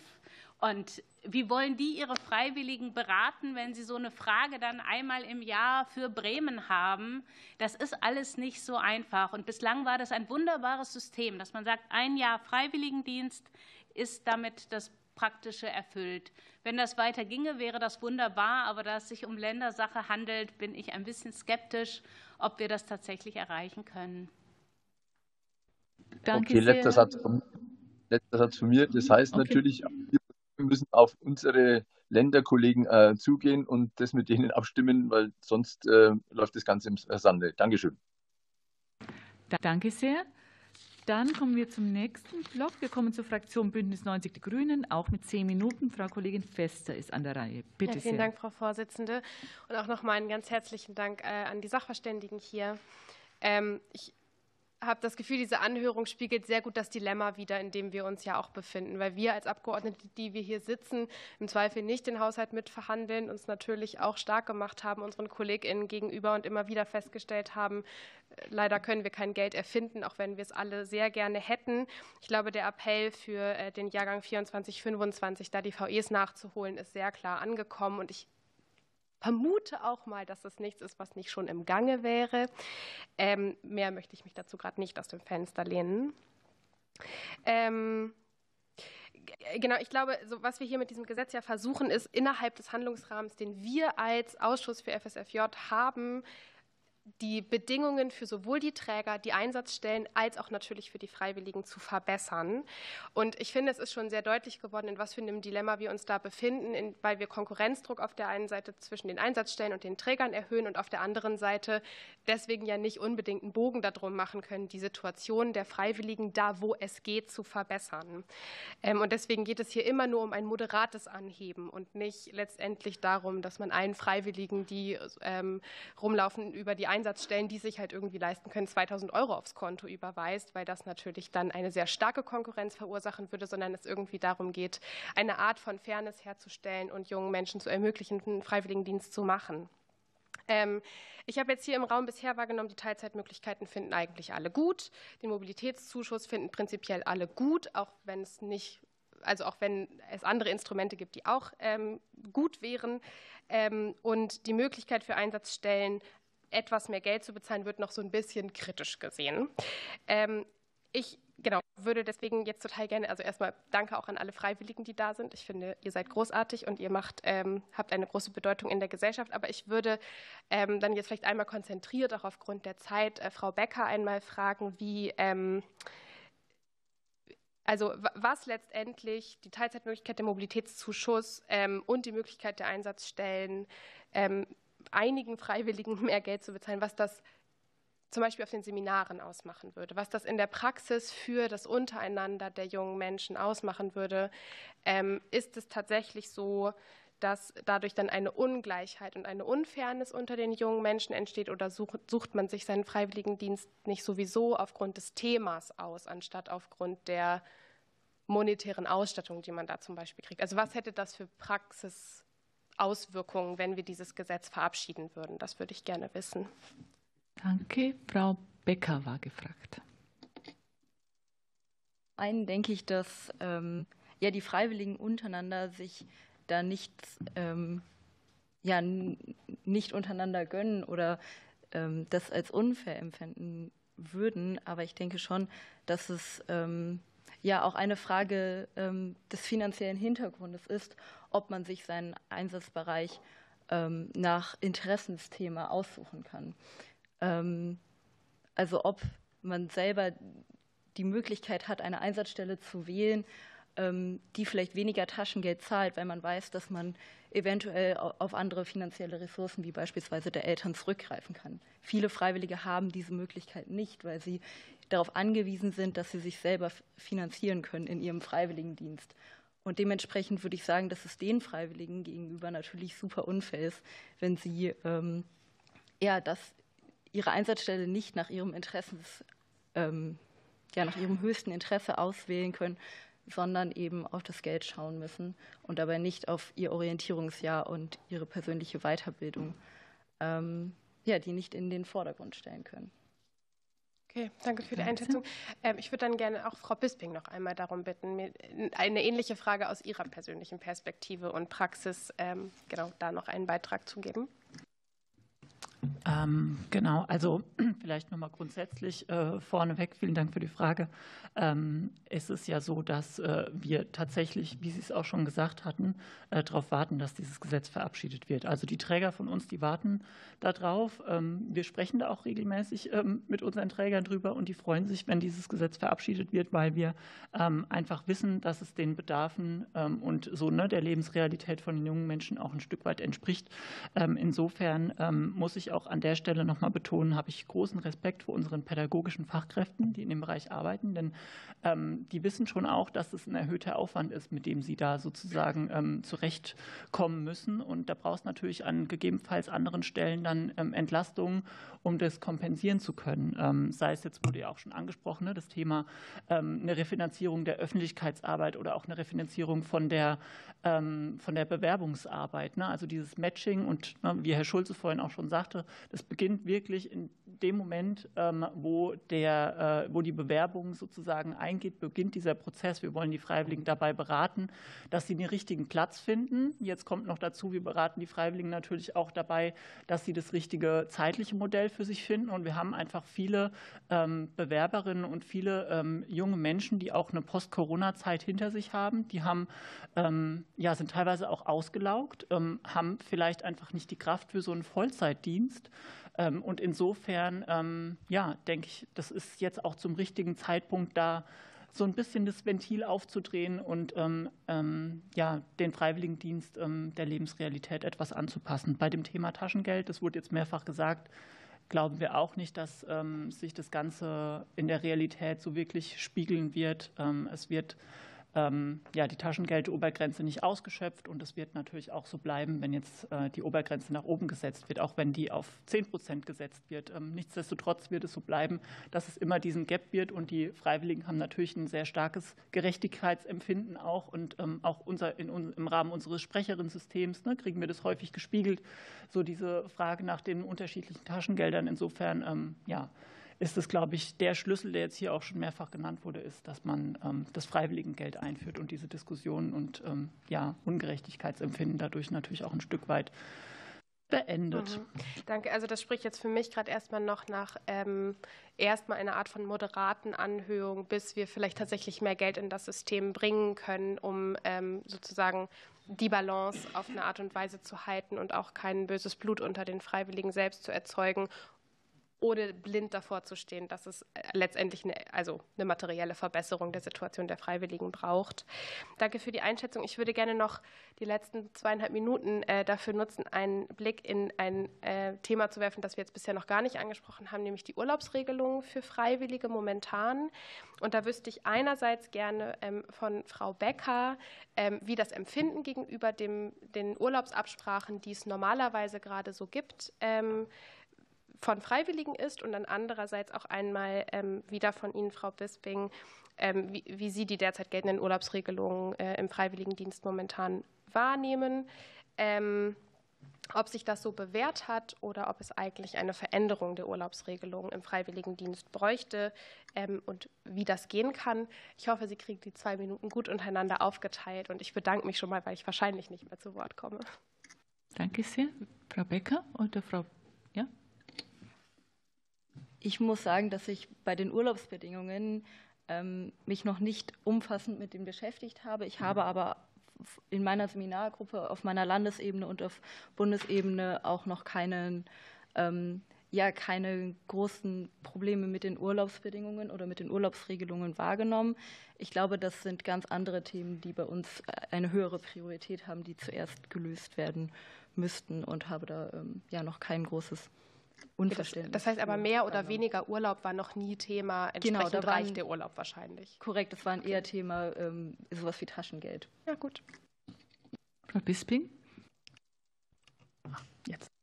Ähm, genau, also explizit ist ja in dem Gesetzesentwurf Urlaub jetzt auch kein Thema. Implizit schwingt es natürlich immer mit, wenn es um Teilzeit äh, geht. Das schwingt auch das Thema Urlaub mit. Wir haben ja in den Freiwilligendiensten ähm, das Bundesurlaubsgesetz. Das gilt nach äh, dem Jugendfreiwilligendienstgesetz und nach dem Bundesfreiwilligendienstgesetz.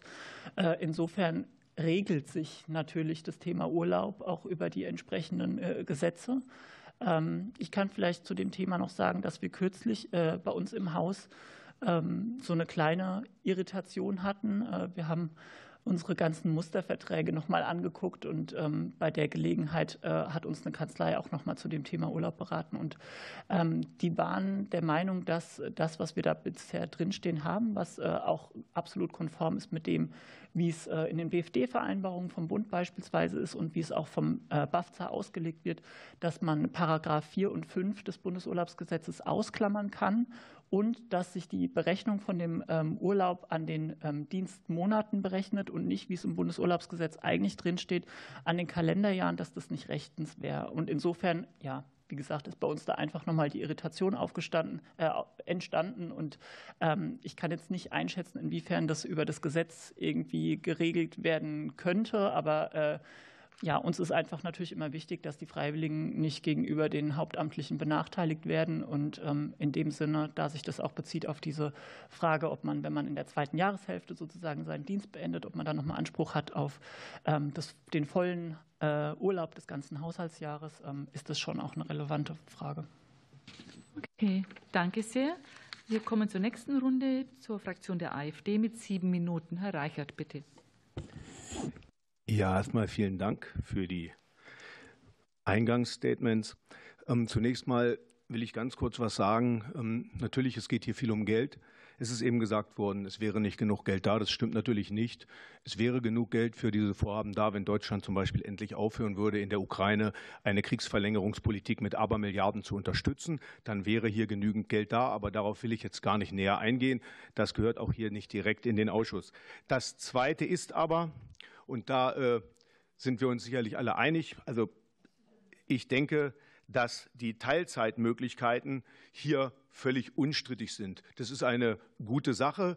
Jedenfalls haben wir keine nachteiligen Punkte daran gefunden. Darum will ich jetzt hier mal eine Frage stellen. Gibt es überhaupt irgendeinen Experten, der auch nur einen Punkt finden würde, äh, wo diese Teilzeitmöglichkeiten einen Nachteil hätten? Der könnte jetzt gern was sagen, weil es würde es einfach gerne wissen, der, als ganz konstruktive Frage. Prima. Wer möchte, okay. möchte ja, jemand? Muss, muss, nicht, ne? Es steht nur im Raum die Frage. Wer möchte antworten? Bitte. Ja, danke für die Frage. Ähm, also wie Sie das schon geschildert haben, ist die Teilzeitvariante, das haben ja hier auch alle, glaube ich, jetzt sehr eindrücklich nahegelegt, äh, an sich vom Grundprinzip wirklich eine gute Idee und die begrüßen wir auch alle. Es ist nur lediglich wichtig, dass die eben auch ausreichend finanziert wird durch höhere Zuschüsse. Und das haben wir, glaube ich, auch alle äh, so äh, versucht sehr deutlich zu machen, dass solange das nicht passiert, ist es eben einfach in der Realität nicht umsetzbar. Dann bleibt es nur eine Lösung auf dem Papier und das wäre natürlich äußerst schade. Ne, weil dann gehen die Erwartungen an den Freiwilligendienst hoch von den Freiwilligen und das macht, äh, kann man aber nicht erfüllen, weil es keine konkreten Teilzeitmöglichkeiten dann bei vielen kleineren, finanziell schwächeren Trägern geben wird. Und das äh, macht den Freiwilligendienst dann wieder unattraktiv im Gegenschluss. Aber das haben wir, glaube ich, auch ganz gut. Ne? Ja, gut. Danke sehr. Ja, danke schön. Und dann habe ich halt noch eine zweite Frage. Es sind jetzt ja hier mehrere, ähm, äh, von allen äh, Experten ist halt gesagt worden, der eine hat gesagt, wir brauchen ähm, ein, äh, sag mal, die Möglichkeit eines Deutschlandtickets. Dann ähm, brauchen wir, sag ich mal, gegebenenfalls Geld in dem Bereich, dass nicht nur die Obergrenze erhöht wird, sondern das Geld eben tatsächlich zur Verfügung gestellt wird. Wenn ich jetzt einfach die Frage stelle, es ist ja im Parlamentarischen nun mal so, es werden von ganz vielen Experten Forderungen gestellt dann kommt so ein Strauß zusammen von zehn Forderungen oder sowas, die vielleicht im Raum stehen. Am Ende findet vielleicht gar keine oder aber nur ein oder zwei Eingang in eine wirkliche Änderung des Gesetzes. Darum würde ich einfach an jeden die Frage stellen, ich glaube, wir haben genug Zeit, wenn jeder ein, zwei Sätze sagt und wirklich sagt, was ist aus seiner Sicht das Wichtigste? Also ist es entweder ein Ticket oder ist es äh, die Erhöhung der Gelder allgemein? Dann hätten wir noch mal eine Gelegenheit, wo jeder da vielleicht einen Satz zu sagen kann. Und wenn wir einfach links oder von mir aus gesehen rechts außen beginnen, dann hätten wir was. Vielen Dank. Gut, ähm, wer möchte beginnen mit einem Satz oder einem Wort oder je nachdem? Wir können auch mittendrin anfangen, wenn Sie möchten. Frau Becker? Ich kann sonst gerne wie vorgeschlagen beginnen. Ähm, die zwei wichtigsten Punkte für mich konkret wären die Einführung eines Freivögs. Damit wäre ähm, die Möglichkeit gegeben, dass ein Taschengeld gezahlt werden kann, was sich an einem BAföG-Höchstsatz orientiert und das auch wirklich allen Freiwilligen zustehen würde. Und zum anderen würde ich für die freie Fahrt für Freiwillige plädieren. Danke. Mhm. Ich kann die Forderung äh, nur unterstützen. Für mich wäre das Wichtigste auch erstens, ähm, dass es keine Kürzungen auch 2025 gibt, weil man einfach sagen muss, dass jegliche Verbesserungen, die wir immer wieder beraten und erreichen, halt sofort zunichte gemacht werden würden, sobald halt wieder Kürzungen kommen, dass dort einfach die Plätze bestehen bleiben und nicht wegfallen und dass dort auch einfach jetzt ähm, sehr zeitig am besten auch verlässliche Informationen ähm, veröffentlicht werden, damit auch einfach mehr Planungssicherheit vorhanden ist. Und äh, die zweite wichtige Sache, ähm, wie gesagt, ich kann das nur unterstützen, aber dann auch noch ergänzend einfach ähm, ein Taschengeld, das wirklich allen Menschen ermöglicht, an einem, Frei an einem Freiwilligendienst teilzuhaben, das keine Unterschiede macht zwischen der elterlichen oder finanziellen Herkunft, sondern das so angemessen ist ähm, und auch realistisch bezahlt werden kann durch Zuschüsse, dass ähm, eben jeder Mensch unabhängig von der Herkunft ähm, und äh, profitieren kann und einfach nur zählt, was das Interesse von den Menschen ist und dass sie sich intrinsisch äh, engagieren möchten und nicht ähm, genau äh, aus welchem Haushalt sie stammen. Danke. Ich versuche es kurz. Also finanzielle Planungssicherheit für das nächste Jahr und da einfach eine grundsätzliche Lösung. Darüber hinaus ähm, ein Freiwilligengeld und ähm, dazu eine refinanzierte Öffentlichkeitsarbeit. Ähm, wir haben beispielsweise dieses Thema, das gibt eine bundesweite Plattform, die heißt äh, Freiwillig Ja, da sind Einsatzstellen Optionen drauf, über 80.000. Äh, es sind eigentlich alle großen Verbände da angeschlossen, um ein Angebot zentral einsehbar zu machen. Jeder kann da drauf gehen und sich informieren, wo ist ein Platz für mich. Und das ist auch ein Angebot, was ähm, ja, ins Stocken kommt, wenn der Haushalt 2025 nicht entsprechend sozusagen das abbildet. Dann haben wir auch mit solchen großen Kampagnen, wo schon viel Energie reingesteckt wurde, ein großes Problem. Von daher finanzielle Planbarkeit überhaupt den Rahmen zu schaffen. Weiter, bitte. Ich würde die finanzielle Planbarkeit noch mal über das Jahr 2025 hinausgehend ansprechen wollen. Martin Schulze hat es eben schon mal gesagt, wir sind in regelmäßigen Abständen da und wissen nicht, wie es mit der Zukunft der Freiwilligendienste weitergehen soll. Und da wäre einfach eine längerfristige Planungssicherheit aus meiner Sicht wichtig. Danke sehr. Mein Wunsch gilt dem Freiwilligenjahr, das hier schon angesprochen wurde ein deutlich erhöhtes Taschengeld für all diejenigen Menschen, die sich dafür interessieren, finanziert durch den Bund, eine Mobilitätspauschale, angemessene pädagogische Begleitung und dadurch eine Steigerung der Plätze. Denn wir erreichen momentan etwa 10 Prozent eines Jahrgangs. Ich sehe ganz andere Möglichkeiten, die auch uns und unserer Gesellschaft zugutekommen könnten. Eine Verdoppelung, eine Verdreifachung der Zahlen bei entsprechendem Rückhalt durch Bevölkerung und Politik selbstverständlich umsetzbar. Danke. Ja, also, ja, also ich kann mich, äh, äh, also ich kann mich dem äh, erhöhten Taschengeld auf jeden Fall auch nur anschließen. Ich würde vielleicht auch noch kurz ergänzen, dass eben vielleicht auch die Bewerbung der Freiwilligendienste auch noch mal etwas ist, was man durchaus ausbauen könnte. So kann das jetzt in der Kürze sein, weil die Zeit ist um jetzt. Äh, vielleicht ein Wort, ein Satz. Äh, dann einfach nur der, der Satz, dass wir ähm, uns wünschen würden, dass die Taschengeldhöchstgrenze ausgezahlt werden kann, und zwar auf einer praktikablen ähm, Ebene. Ich halte die Reduzierung auf einen Punkt für unterkomplex. Ähm, ich glaube, das trifft es leider nicht. Das tut mir leid. Zeitlich am drängendsten ist tatsächlich die Jahrgangsfinanzierung 24-25. Okay. Ich bringe es auf ein Wort Planbarkeit und Verlässlichkeit als ganz wichtiges Anliegen ganz oben auf. Danke. Ich betone nochmal den Wunsch nach einem Rechtsanspruch auf Förderung von jedem Platz, der zustande kommt. Gut, danke sehr. Dann kommen wir zur nächsten Runde, Fraktion der FDP mit acht Minuten.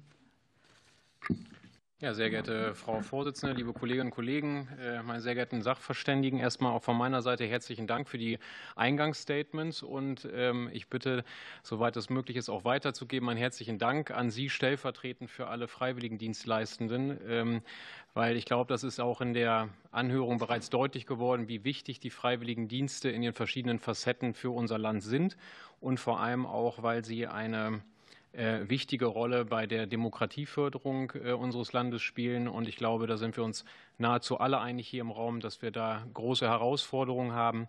Und dementsprechend glaube ich auch, dass es wichtig ist, dass wir es weiterhin gut auf den Weg bringen. Es freut mich auch, dass ich in den Statements ähm, zumindest sehr grundsätzlich positives Feedback äh, wahrgenommen habe, natürlich, aber auch mit der Einschränkung, dass der ein oder andere Aspekt bisher noch offen bleibt, vor allem in Bezug auf finanzielle Aspekte, wenngleich ich es sehr gut nachvollziehen kann, dass noch mal sehr deutlich auch gerade unterstrichen wurde, dass es ähm, den großen Wunsch nach Planbarkeit gibt und Verlässlichkeit. Ich glaube, das ist eigentlich eine Minimalanforderung, die wir erfüllen sollten, gemeinschaftlich äh, als Politik und das auch eigentlich schon seit vielen Jahren. Frau Rindt hat gerade äh, was ganz Schönes gesagt in ihrem Eingangsstatement, dass sie probiert, äh, nichts zu wiederholen, was schon mal angesprochen wurde. Das probiere ich bei meinen Fragen auch, obwohl schon sehr, sehr viele Fragen gestellt wurden. Ich glaube aber, dass das gelingen kann, weil Sie in Ihren Statements sehr viele Anknüpfungspunkte ja schon geliefert haben. Und ich möchte meine ersten Fragen an Frau Ladewig äh, stellen. Und zwar haben Sie auch in Ihrem Eingangsstatement deutlich gemacht, dass Sie eine sehr langjährige Erfahrung schon haben mit, ähm, mit den Freiwilligendiensten 27 plus und dann natürlich auch Erfahrung sammeln konnten, was äh, potenzielle Vor- und Nachteile äh, in der Teilzeit sind. Und ich würde gerne wissen, äh, wie sehr ist in der Vergangenheit vor allem auch von der Gruppe der unter 27-Jährigen das Anliegen eigentlich an Sie herangetragen worden, wo es dann aber gegebenenfalls nicht geklappt hat, weil dieses sogenannte berechtigte Interesse nicht vorlag. Das ist meine erste Frage. Und das Zweite, ähm, Sie hatten auch schon ausgeführt, dass Sie ähm, zum Teil sehr kleine ehrenamtliche Strukturen haben. Und in dem Zusammenhang möchte ich die Frage stellen, ob Sie weitere Flexibilisierungsmöglichkeiten sehen, ähm, die man äh, im Zuge eines Gesetzgebungsverfahrens umsetzen könnte. Bis dahin erstmal. Danke sehr. Frau Ladewig war gefragt. Ja, vielen Dank. Ähm, zu Ihrer ersten Frage äh, bezüglich der Anfragen, die bei uns, bei, bei mir ein, ein, ankommen. ähm, muss ich gleich von vornherein sagen, dass wir in der Diskussion oder dass ich in der Beratung der Freiwilligen gar nicht so weit komme, dass es irgendwie um, die, äh, um den Nachweis eines berechtigten Interesses kommt, weil wir in unseren Strukturen gar nicht die Möglichkeit oder unsere Einsatzstellen gar nicht aufgrund ihrer, ehrenamtlich, ihrer ehrenamtlichen Struktur gar nicht die, das Angebot machen können, äh, eine Vollzeitstelle zu, zu finanzieren, weder zu finanzieren noch zu begleiten. Deshalb äh, muss ich direkt Anfragen, die ähm, bezüglich einer, einer, einer äh, von, von Interessierten, von jungen Interessierten bei mir ankommen, direkt sagen, dass eine, ein BFD in unserer Trägerschaft leider nicht möglich ist und gebe das weiter an andere Träger in unserem Trägerverbund, die dann den, den Interessierten weiterhelfen können. Das ist natürlich sehr, sehr schade für uns, weil, wie ich auch in meinem Statement erwähnt hatte, ähm, gibt es sehr viele Vereine und Einsatzstellen in unseren Strukturen, die gerne mit jüngeren Menschen zusammenarbeiten möchten. Aber aufgrund ähm, der, der ehrenamtlichen Organisation das nicht gewährleisten können, wie zum Beispiel die pädagogische ähm, oder der zeitliche Aufwand für die pädagogische und fachliche Anleitung der Freiwilligen vor Ort, können Mitarbeitende oder, oder Mitglieder eines Vereins, der mit, äh, von einem ehrenamtlichen Vorstand ähm, gemanagt wird, nicht gewährleisten. Sie sind einfach nicht lange genug vor Ort, um die Freiwilligen anzuleiten. Ähm, des Öfteren stellen wir auch fest, dass die Einsatzstellen, das hatte, hatten Sie, glaube ich, auch schon erwähnt, dass äh, die Aufgaben in solch kleinen Vereinen oftmals gar nicht ausreichen, um eine 40-Stunden-Stelle oder eine 40-Stunden-Woche wirklich sinnvoll auszufüllen. Von daher ähm, muss ich oftmals, wie gesagt, diese Anfragen vorher schon abbrechen und sagen, tut mir leid, in unseren Strukturen geht es leider nicht. Das ist sehr schade. Ähm, eine andere äh, Möglichkeit oder ja, eine, eine, eine mögliche Lösung des, des Debakels äh, sehe ich persönlich auch in, in, äh, aus meiner Erfahrung heraus in Zusammenarbeit mit den Einsatzstellen, die wie gesagt zum größten Teil ehrenamtlich organisiert sind, ähm, darin diese Fünf-Jahres-Sperrfrist, diese fünfjährige Sperrfrist, die es für ähm, Interessierte oder für, für Freiwillige gibt, etwas aufzuweichen. Ähm, mit der Ausnahme für die lebensälteren Freiwilligen wäre unser Vorschlag. Wie gesagt, wir arbeiten mit Freiwilligen ab 27 Jahren zusammen. Momentan sind sie ähm, zwischen 29 und 84 Jahre. Äh, Durchschnittsalter liegt so bei 65. Das heißt, die meisten unserer, äh, unserer Freiwilligen sind tatsächlich schon im Rentenalter, wollen also definitiv nicht wieder zurück auf den ersten Arbeitsmarkt, suchen im Freiwilligendienst eine sinnvolle Beschäftigung um ihren Ruhestand noch mal aktiv zu gestalten.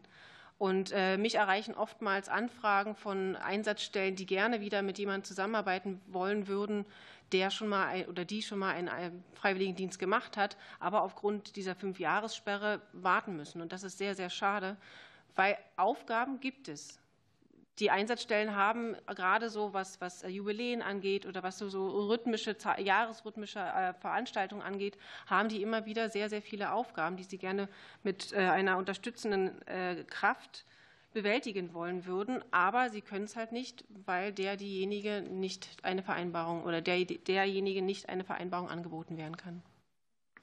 Okay. Ja, vielen Dank.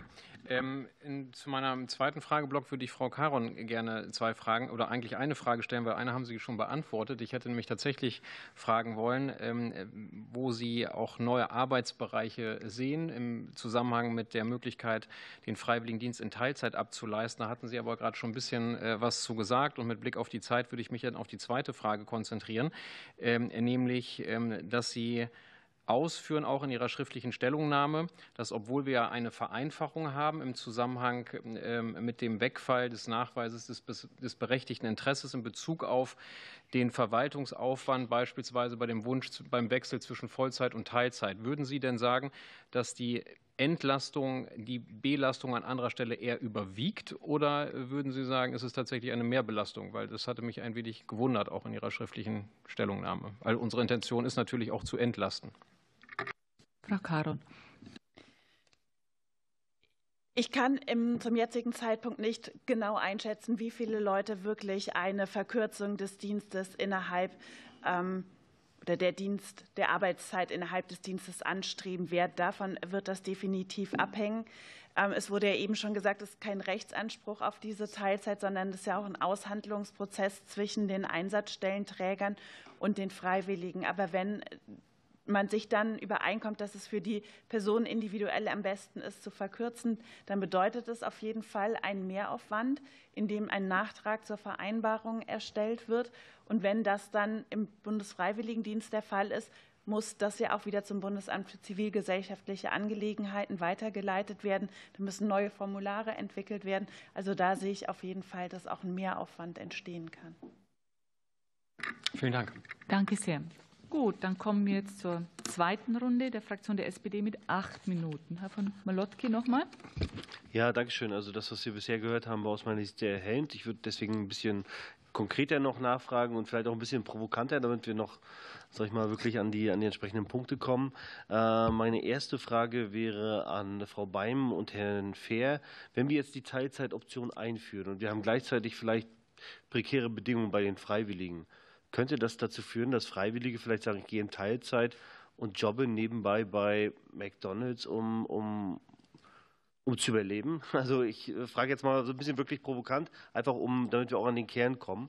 Ähm, Zweite Frage wäre an Frau Becker. Äh, FÖJ, sie ist ja auch eine bestimmte Art von, von Freiwilligendienst.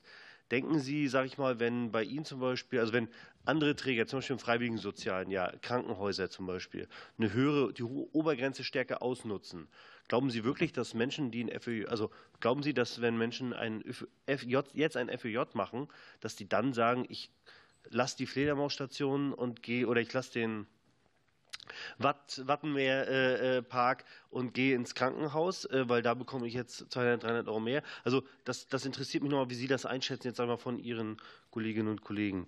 Ähm, und äh, Frau Bisping, vielleicht können Sie dazu noch was sagen. Vorhin gab es die Frage, wie Sie zu einer höheren Obergrenze stehen. Man hat vielleicht rausgehört, ich sympathisiere damit. Können Sie noch mal erklären, warum das aus Ihrer Sicht so ein großes Problem wäre, wenn wir da jetzt die Obergrenze noch auf sozusagen ein Stück noch weiter erhöhen auf BAföG-Niveau gehen? Also das würde ich äh, gerne von Ihnen noch wissen. Und die letzte Frage wäre an Frau Rindt, Mobilitätszuschuss. Da gibt es ja jetzt eine Begrenzung. Was wäre, wenn wir den rausnehmen würden? So, dann versuchen wir das nacheinander abzuarbeiten. Frau Beimen und Herr Fehr sind gefragt. Als erstes, das war die erste Frage. Ne? Hm? Ja, vielen Dank für die Frage. Ähm, es kann durchaus sein, dass wenn wir jetzt den Teilzeitdienst etablieren können, was ja für die äh, Freiwilligen auf der einen Seite, wie ich das auch versucht habe in der Stellungnahme niederzulegen, eine Freiheit darstellen kann, weil sie dadurch eben ähm, zum Beispiel Leistungssport nachgehen können oder halt ähm, sich vorbereiten können auf die ähm, Bewerbungsverfahren für Stipendien, Studiengänge etc. Ähm, oder halt auch einen Nebenjob ausüben können, wenn sie das möchten. Ähm, das kann eine Freiheit darstellen. Gleichzeitig kann das natürlich auch eine Notwendigkeit darstellen. Gerade wenn wir dahin gehen, dass das Taschengeld zu niedrig ist. Ähm, deswegen finde ich das ein sehr guter Punkt, um sich nochmal stark für eine Taschengelduntergrenze auszusprechen, die halt auch beim Freiwilligendienst greift. Ich habe das auch in meiner Stellungnahme versucht, so nahezulegen, dass ich mich ähm, schon grundsätzlich befürworten würde, dass man differenziert zwischen Teilzeitgehalt und Vollzeitgehalt. Ich habe es heute auch anders gehört, aber ich glaube einfach aus Sicht der Freiwilligen, dass ähm, das einfach aus Gerechtigkeitsgründen für das Empfinden auch ein bisschen muss eine Differenzierung da sein und es muss auch ein gewisser Anreiz bleiben, um auch einen Vollzeitfreiwilligen zu machen, der sich natürlich nicht nur aus dem Geld zusammensetzt, aber da muss sich das auch widerspiegeln und ähm, dementsprechend brauchen wir auch eine prozentuelle Absenkung, aber ich finde es wichtiger, dass diese Taschengelduntergrenze dem drüber steht, damit eben gesichert ist, dass zumindest noch ein Bare Minimum so vorhanden ist. Ja. Okay, Herr Fehr zum selben Thema. Ja, also ich kann mich da Frau Beim auf jeden Fall anschließen. Also ich halte es für eine sehr realistische Möglichkeit, dass eben bestimmte Menschen aufgrund eben des geringen Taschengelds bei ihrer Einsatzstelle dann eben ein, äh, ja, einen Dienst in Teilzeit machen und dann nebenbei noch jobben. Also ich kenne das jetzt auch schon, mehrere Beispiele, wo dann am Wochenende nochmal irgendwo geholfen wird, einfach um sich nochmal mehr Geld hinzuzuverdienen, weil man muss halt einfach so realistisch sein, dass man oft mit dem äh, ja, Taschengeld, was man erhält, sehr, sehr wenig anfangen kann. Deswegen, ich würde jetzt auch nicht im Anbetracht der Zeit sondern viel mehr ergänzen. Ich glaube, Beim hat da schon die wichtigsten Punkte genannt. Danke sehr. Und dann war die Frage an Frau Becker bezüglich der Obergrenze und der Auswahl der, des Einsatzes, des, der Einsatzstelle. Bitte sehr. Vielen Dank für die Frage. Ich denke, dass, ähm, oder ich erlebe im FJ, dass die Menschen dort mit einer wirklich starken Begeisterung ähm, dabei sind und eben ähm, ja, eine große Leidenschaft für ihre Einsatzstellen, für ihr Engagement und für auch die Ökologie haben. Ich denke, auch da hängt es wieder vom Geld ab. Diejenigen, die es sich leisten können, ein FJ zu machen, wenn die ja, wenn das Taschengeld so niedrig ist, die werden natürlich gerne weiterhin dort bleiben. Diejenigen, die sich aber das nicht leisten können, aber der Wille nach Engagement trotzdem so groß ist, werden vielleicht überlegen und nachschauen, ob sie bei einem anderen Träger einen Freiwilligendienst machen können, den sie sich leisten können. Das heißt aber nicht, dass man den Trägern jetzt verwehren sollte, dass sie ihren Freiwilligen mehr Geld zahlen können, sondern dass gesichert ist, dass alle Freiwilligen ein Geld bekommen, von dem sie leben können. Danke sehr. Jetzt ist Frau Bisping dran. Ja, Bitte danke. Sehr. Genau, zur Obergrenze ähm, war die Frage. Also ähm, ich hatte es ja vorhin auch schon mal gesagt, wir haben jetzt die Obergrenze von 6 Prozent. Äh, Im Gesetzesvorschlag sind ja die 8 Prozent drin. Natürlich ähm, könnte man auch ähm, noch auf 10 Prozent gehen oder auf einen höheren Satz. Aktuell, wenn wir jetzt äh, mit den äh, 8 Prozent rechnen würden, wäre das, wäre das eine Obergrenze von 604 Euro, meine ich, ähm, die sich daraus ergeben würde. Ähm, es gab auch andere ähm, Forderungen, beispielsweise findet sich äh, das in einem Vorschlag vom Roten Kreuz vom letzten Jahr, dass man halt auch, ne, so wie Frau, Frau Beim das ja auch schon sagte, auf dieses Niveau Taschengeld BAföG-Satz äh, geht. Ähm, es gab eine Studie von der Bertelsmann Stiftung im letzten Jahr, da stand ähm, eine Empfehlung drin von 710 Euro. Aber ungefähr in diesem Korridor sollte es sich bewegen. Also ich denke, das Minimum, was möglich wäre, wäre eben genau den Rahmen, der jetzt gegeben ist. Ne? Also man hat einen, einen Rahmen geschaffen, äh, die 8 Prozent, ähm, dass man da eben auch das entsprechende, ja, sage ich jetzt mal, äh, die entsprechenden Ressourcen schafft, um dieses Glas dann auch zu füllen. Ja? Wenn das Glas größer ist, dann muss trotzdem irgendwie am Ende was reingeschüttet werden. Und wenn man das Glas jetzt noch größer macht und 10 Prozent ähm, nimmt, dann ähm, ist das nichts wert, wenn nichts eingeschüttet wird. Insofern, ähm, ja, denke ich, ist, man kann die Obergrenze erhöhen, aber es steht und fällt natürlich mit der Refinanzierung und freiwilligem Geld, ist das Plädoyer. Danke sehr. Und Frau Rindt war noch gefragt. Wenn ich die Frage richtig verstanden habe, geht es darum, die Deckelung aus dem Mobilitätszuschlag Ich habe das, äh, ja, ich habe das ein bisschen vereinfacht dargestellt, stimmt. Genau. Ich denke, da gilt dann Ähnliches wie, wie für das Taschengeld. Äh, auch da ist ja die Frage, wie refinanziert sich der, der Mobilitätszuschlag? Und insofern ähm, würde ich das Gleiche konstatieren, wie wir jetzt alle miteinander für die Taschengeldobergrenze ähm, beschrieben haben. Ähm, insofern wäre, was die Mobilität angeht, in der Tat die, die Forderung nach freier Fahrt für Freiwillige im ÖPNV, also analog zu den Vergünstigungen für Wehrdienstleistende, äh, unsere Forderung, neben weiteren ähm, Vergünstigungen im Sinne von Entlastungen der Freiwilligen, also zum Beispiel die Befreiung der Freiwilligen von der Haushaltsabgabe beim Rundfunkbeitrag wäre ein weiterer Vorschlag. Oder zu prüfen, ähm, ob der Wohngeldanspruch für alle Freiwilligen mit Wohnberechtigung äh, und eigener Wohnung äh, besteht. Also auch da noch mal reinzuschauen und nach weiteren Entlastungsmöglichkeiten für die Freiwilligen zu suchen. Danke sehr. Dann kommen wir jetzt zur zweiten Runde der Fraktion der CDU-CSU mit sieben Minuten. Auch der Herr Edelhäuser wieder. Bitte sehr. Ja, vielen Dank. Äh, bei mir wird die Fragerunde an äh, den, äh, an den Herrn Schulze und an den Herrn Botschun zu richten. Und zwar, ähm, wenn wir jetzt ja gehört haben, dass die Mittel bei den Trägern nicht ausreichend sind, um die Refinanzierung zu sichern. Ähm, wie verhält sich denn das da so in der, gibt es eine gewisse Befürchtung, dass jetzt ein äh, Teilzeitstelleninhaber quasi eine Vollzeitstelle obsolet macht, weil jetzt diese Teilzeitstelle, also zwei Teilzeitstellen, dann ähm, ähm, diese eine ersetzen würde. Wie würde das bei Ihnen ausschauen? Glauben Sie, dass das, das sein wird oder glauben Sie, nee, Vollzeitstellen bleiben Vollzeit, äh, weil das immer auf der sicheren Seite? Das wäre vielleicht meine erste Frage an die beiden Herren.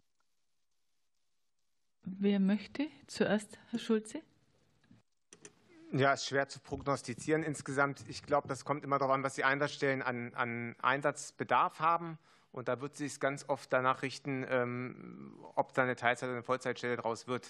Also zwei Teilzeitstellen würde auf jeden Fall eine deutliche Mehrbelastung auch für die Einsatzstellen sein, in der Begleitung der Freiwilligen, in, in der Auswahl der Freiwilligen. Und von daher, glaube ich, wird das nicht zum Verdrängungseffekt führen, sondern wir müssen einfach gucken, wie viel das insgesamt überhaupt nachgefragt wird, die Teilzeit. Und die Einsatzstellen werden, wenn das zu viel wird, dann eher sagen, wir bleiben bei Vollzeit, wenn sie sagen, das können wir besser bewerkstelligen. Herr Pott schon noch. Genau, wir haben schon öfter gehört, wenn es keine Frage der Finanzierung ist, dann glaube ich schon, dass auch Teilzeitstellen entstehen würden, weil die Aufgaben sind da und vielleicht sogar zusätzlich. Also ich könnte mir vorstellen, dass mehr Stellen entstehen für Freiwillige in Einsatzstellen. Zum anderen ist ja die Frage auch der Gestaltung dieses Teilzeitdienstes. Ähm, ob man unterscheidet in Teilzeit- und Vollzeitstellen bei den Einsatzstellen oder ob man eben auf die Freiwilligen guckt und sagt, das brauchen die dann und dann entsprechend eine Stelle gestaltet, weil es ja eben nicht so ist, dass Freiwillige in den Einsatzstellen einen Dienst leisten, äh, also sehr arbeitsmarktneutral, das heißt, die Aufgaben fallen zwar an, aber ähm, wenn ein Freiwilliger auch eine Vollzeitstelle haben möchte und die, also die eigentlich als Vollzeit gedacht ist und diese in Teilzeit leisten möchte, müsste diese freiwillige Person das so machen können. Das ist der Punkt, also dass sozusagen der Wunsch der Freiwilligen als erstes berücksichtigt wird und nicht die Wunsch der Einsatzstelle, ob sie eine Teilzeit- oder Vollzeitstelle an, äh, anbieten wollen. Danke sehr. Das heißt, wir Dankeschön. Das heißt, wir kommen mehr und mehr zu diesem Arbeitnehmermarkt, auch bei dem äh, Bereich der, der Freiwilligendienste, ja, weil einfach äh, zu, zu wenig äh, dann vielleicht auch ähm, da sind. Ähm, jetzt also eher allgemeine äh, Frage. Äh, wer sich halt quasi bemüßigt fühlt, auch da vielleicht antworten zu wollen. Ähm, wir haben, ähm, sind zwei kleinere Fragen. Und zwar, ähm, warum ist jetzt jemand als Freiwilligendienstler, der das machen will, ähm, geht er lieber in eine Teilzeitschiene und warum geht einer lieber in eine Vollzeitschiene? Klar, äh, wenn er es sich leisten kann, das wäre vielleicht das eine, aber vielleicht von Ihrer Seite, warum geht einer in eine Teilzeit, warum eine Vollzeit? Und das andere ist, was auch schon mal angesprochen ist, der bürokratische Mehraufwand auch allgemein. Ähm, wir haben natürlich gehört, klar, wenn ich zwei äh, Leute hätte, dann äh, bringe ich die ja gar nicht unter. Ich muss die betreuen, ich muss die organisatorisch begleiten und so weiter. Ähm, aber das äh, wäre noch, was sind da so für konkreter Mehraufwand, der da vielleicht noch dazukommt, den ich jetzt noch nicht aufgeführt habe, der für Teilzeit dazu käme. Danke sehr. Frau Dr. Eichhorn hat sich gemeldet hierzu. Bitte sehr. Genau, ich fange mal mit der ersten Frage an. Die Menschen, die bei uns nach Teilzeit fragen, sind in erster Linie Menschen, die nicht Vollzeit arbeiten wollen oder können. Das sind bei uns im Sport zum Teil Leistungssportler, die einfach sehr viel Zeit mit Leistungssport verbringen. Es sind aber auch ganz stark vermehrt Menschen mit psychischen und mentalen Problemen, die das einfach nicht schaffen, die es sich nicht zutrauen, 40 Stunden die Woche zu arbeiten. Und dazu kommt, dass bei uns wirklich 40 Stunden Vollzeit sind und Gen Z ganz häufig auch sagt, 30 Stunden wäre für uns auch ausreichend. Insofern gehen wir davon aus, dass es auch aus dieser Reihe Menschen kommen werden. Unsere Befürchtung ist, dass Leute kommen werden, die parallel noch einen Nebenjob machen müssen, weil das Geld nicht reicht. Aber das habe ich bislang nicht als Erfahrungsbericht. Dazu haben wir zu wenig Teilzeitfälle. Und zur Bürokratie es wird sich eben verdoppeln. Jeder einzelne Freiwillige kostet, ich weiß nicht, 15 Stunden ungefähr in Vorbereitung, einfach nur damit er da ist. Der, der, der, Träger muss Formulare ohne Ende ausfüllen, das muss bei der Krankenkasse angemeldet werden, bei der Sozialversicherung. Das Bundesamt braucht Sachen weiterhin in drei- bis siebenfacher Ausführung. Das ist alles schon sehr, sehr aufwendig. Und wenn wir statt einem Menschen zwei haben, verdoppelt sich die Arbeit und es wird zum Teil noch mehr, weil eine besondere und komplexere Beratung dann notwendig sein wird. Danke sehr. Soll noch jemand anders auf diese Frage antworten oder haben Sie noch eine andere Frage, Herr Edelhäuser? Ah, ansonsten noch eine Frage. Wenn nein, dann mache ich weiter. Will jemand auf das noch antworten? Sonst macht der Herr Edelhäuser selber weiter. hm? Herr Putsch, wollt ihr antworten? Also er soll weitermachen, war das Zeichen. Herr Edelhäuser, Sie sollen weitermachen, bitte sehr. Dann noch eine Frage an äh, die ähm, FEJ-Bundessprecherin, an die Jasmin äh, Becker. Und zwar, äh, da geht es auch wieder äh, darum, warum sehen Sie jetzt so eine Gefahr, ähm, dass die Freiwilligen die, diese Teilzeitoption einfach aus Not gezwungen werden, den, den Job nachzugehen, ähm, wenn sie sich freiwillig, also aktiv für diesen Teilzeitjob, quasi Teilzeitfreiwilligendienst entschieden haben. Liegt es dann wirklich wieder nur am, am Geld? Man, interessant war jetzt das gerade von der Frau Dr. Eichhorn, dass es psychische Probleme geben könnte, die einen Vollzeitjob nicht äh, ermöglichen können. Gibt es noch weitere, die jetzt Sie, sagen wir mal, jetzt im ökologischen Bereich äh, vielleicht explizit nennen könnten? Dankeschön. Frau Becker, bitte. Ich sehe da vor allem eben die finanzielle Not, in der die Freiwilligen dann stehen, dass sie vielleicht zu Beginn ihres Freiwilligendienstes ähm, den in Teilzeit anfangen, weil sie eben sich entweder nicht mehr zutrauen aus körperlichen oder ähm, geistigen äh, Verfassungen her nicht in der Lage sind, ähm, ja Vollzeit ähm, in der Einsatzstelle die Zeit zu verbringen und dann aber immer äh, innerhalb ihres Freiwilligendienstes merken, dass sie mit dem Geld nicht auskommen und sich dann eben einen Nebenjob suchen müssen, um überhaupt ihre Existenz sichern zu können. Und ich denke, dass wir das auf jeden Fall verhindern sollten, damit Freiwillige sich auf ihren Freiwilligendienst und auf ihre persönliche Entwicklung, auf das Orientierungsjahr fokussieren können und nicht in ihrem Freiwilligendienst von Geldnöten und Geldsorgen gequält sind. Danke sehr. So, dann sind wir am Ende. Danke. Der, ja, danke auch.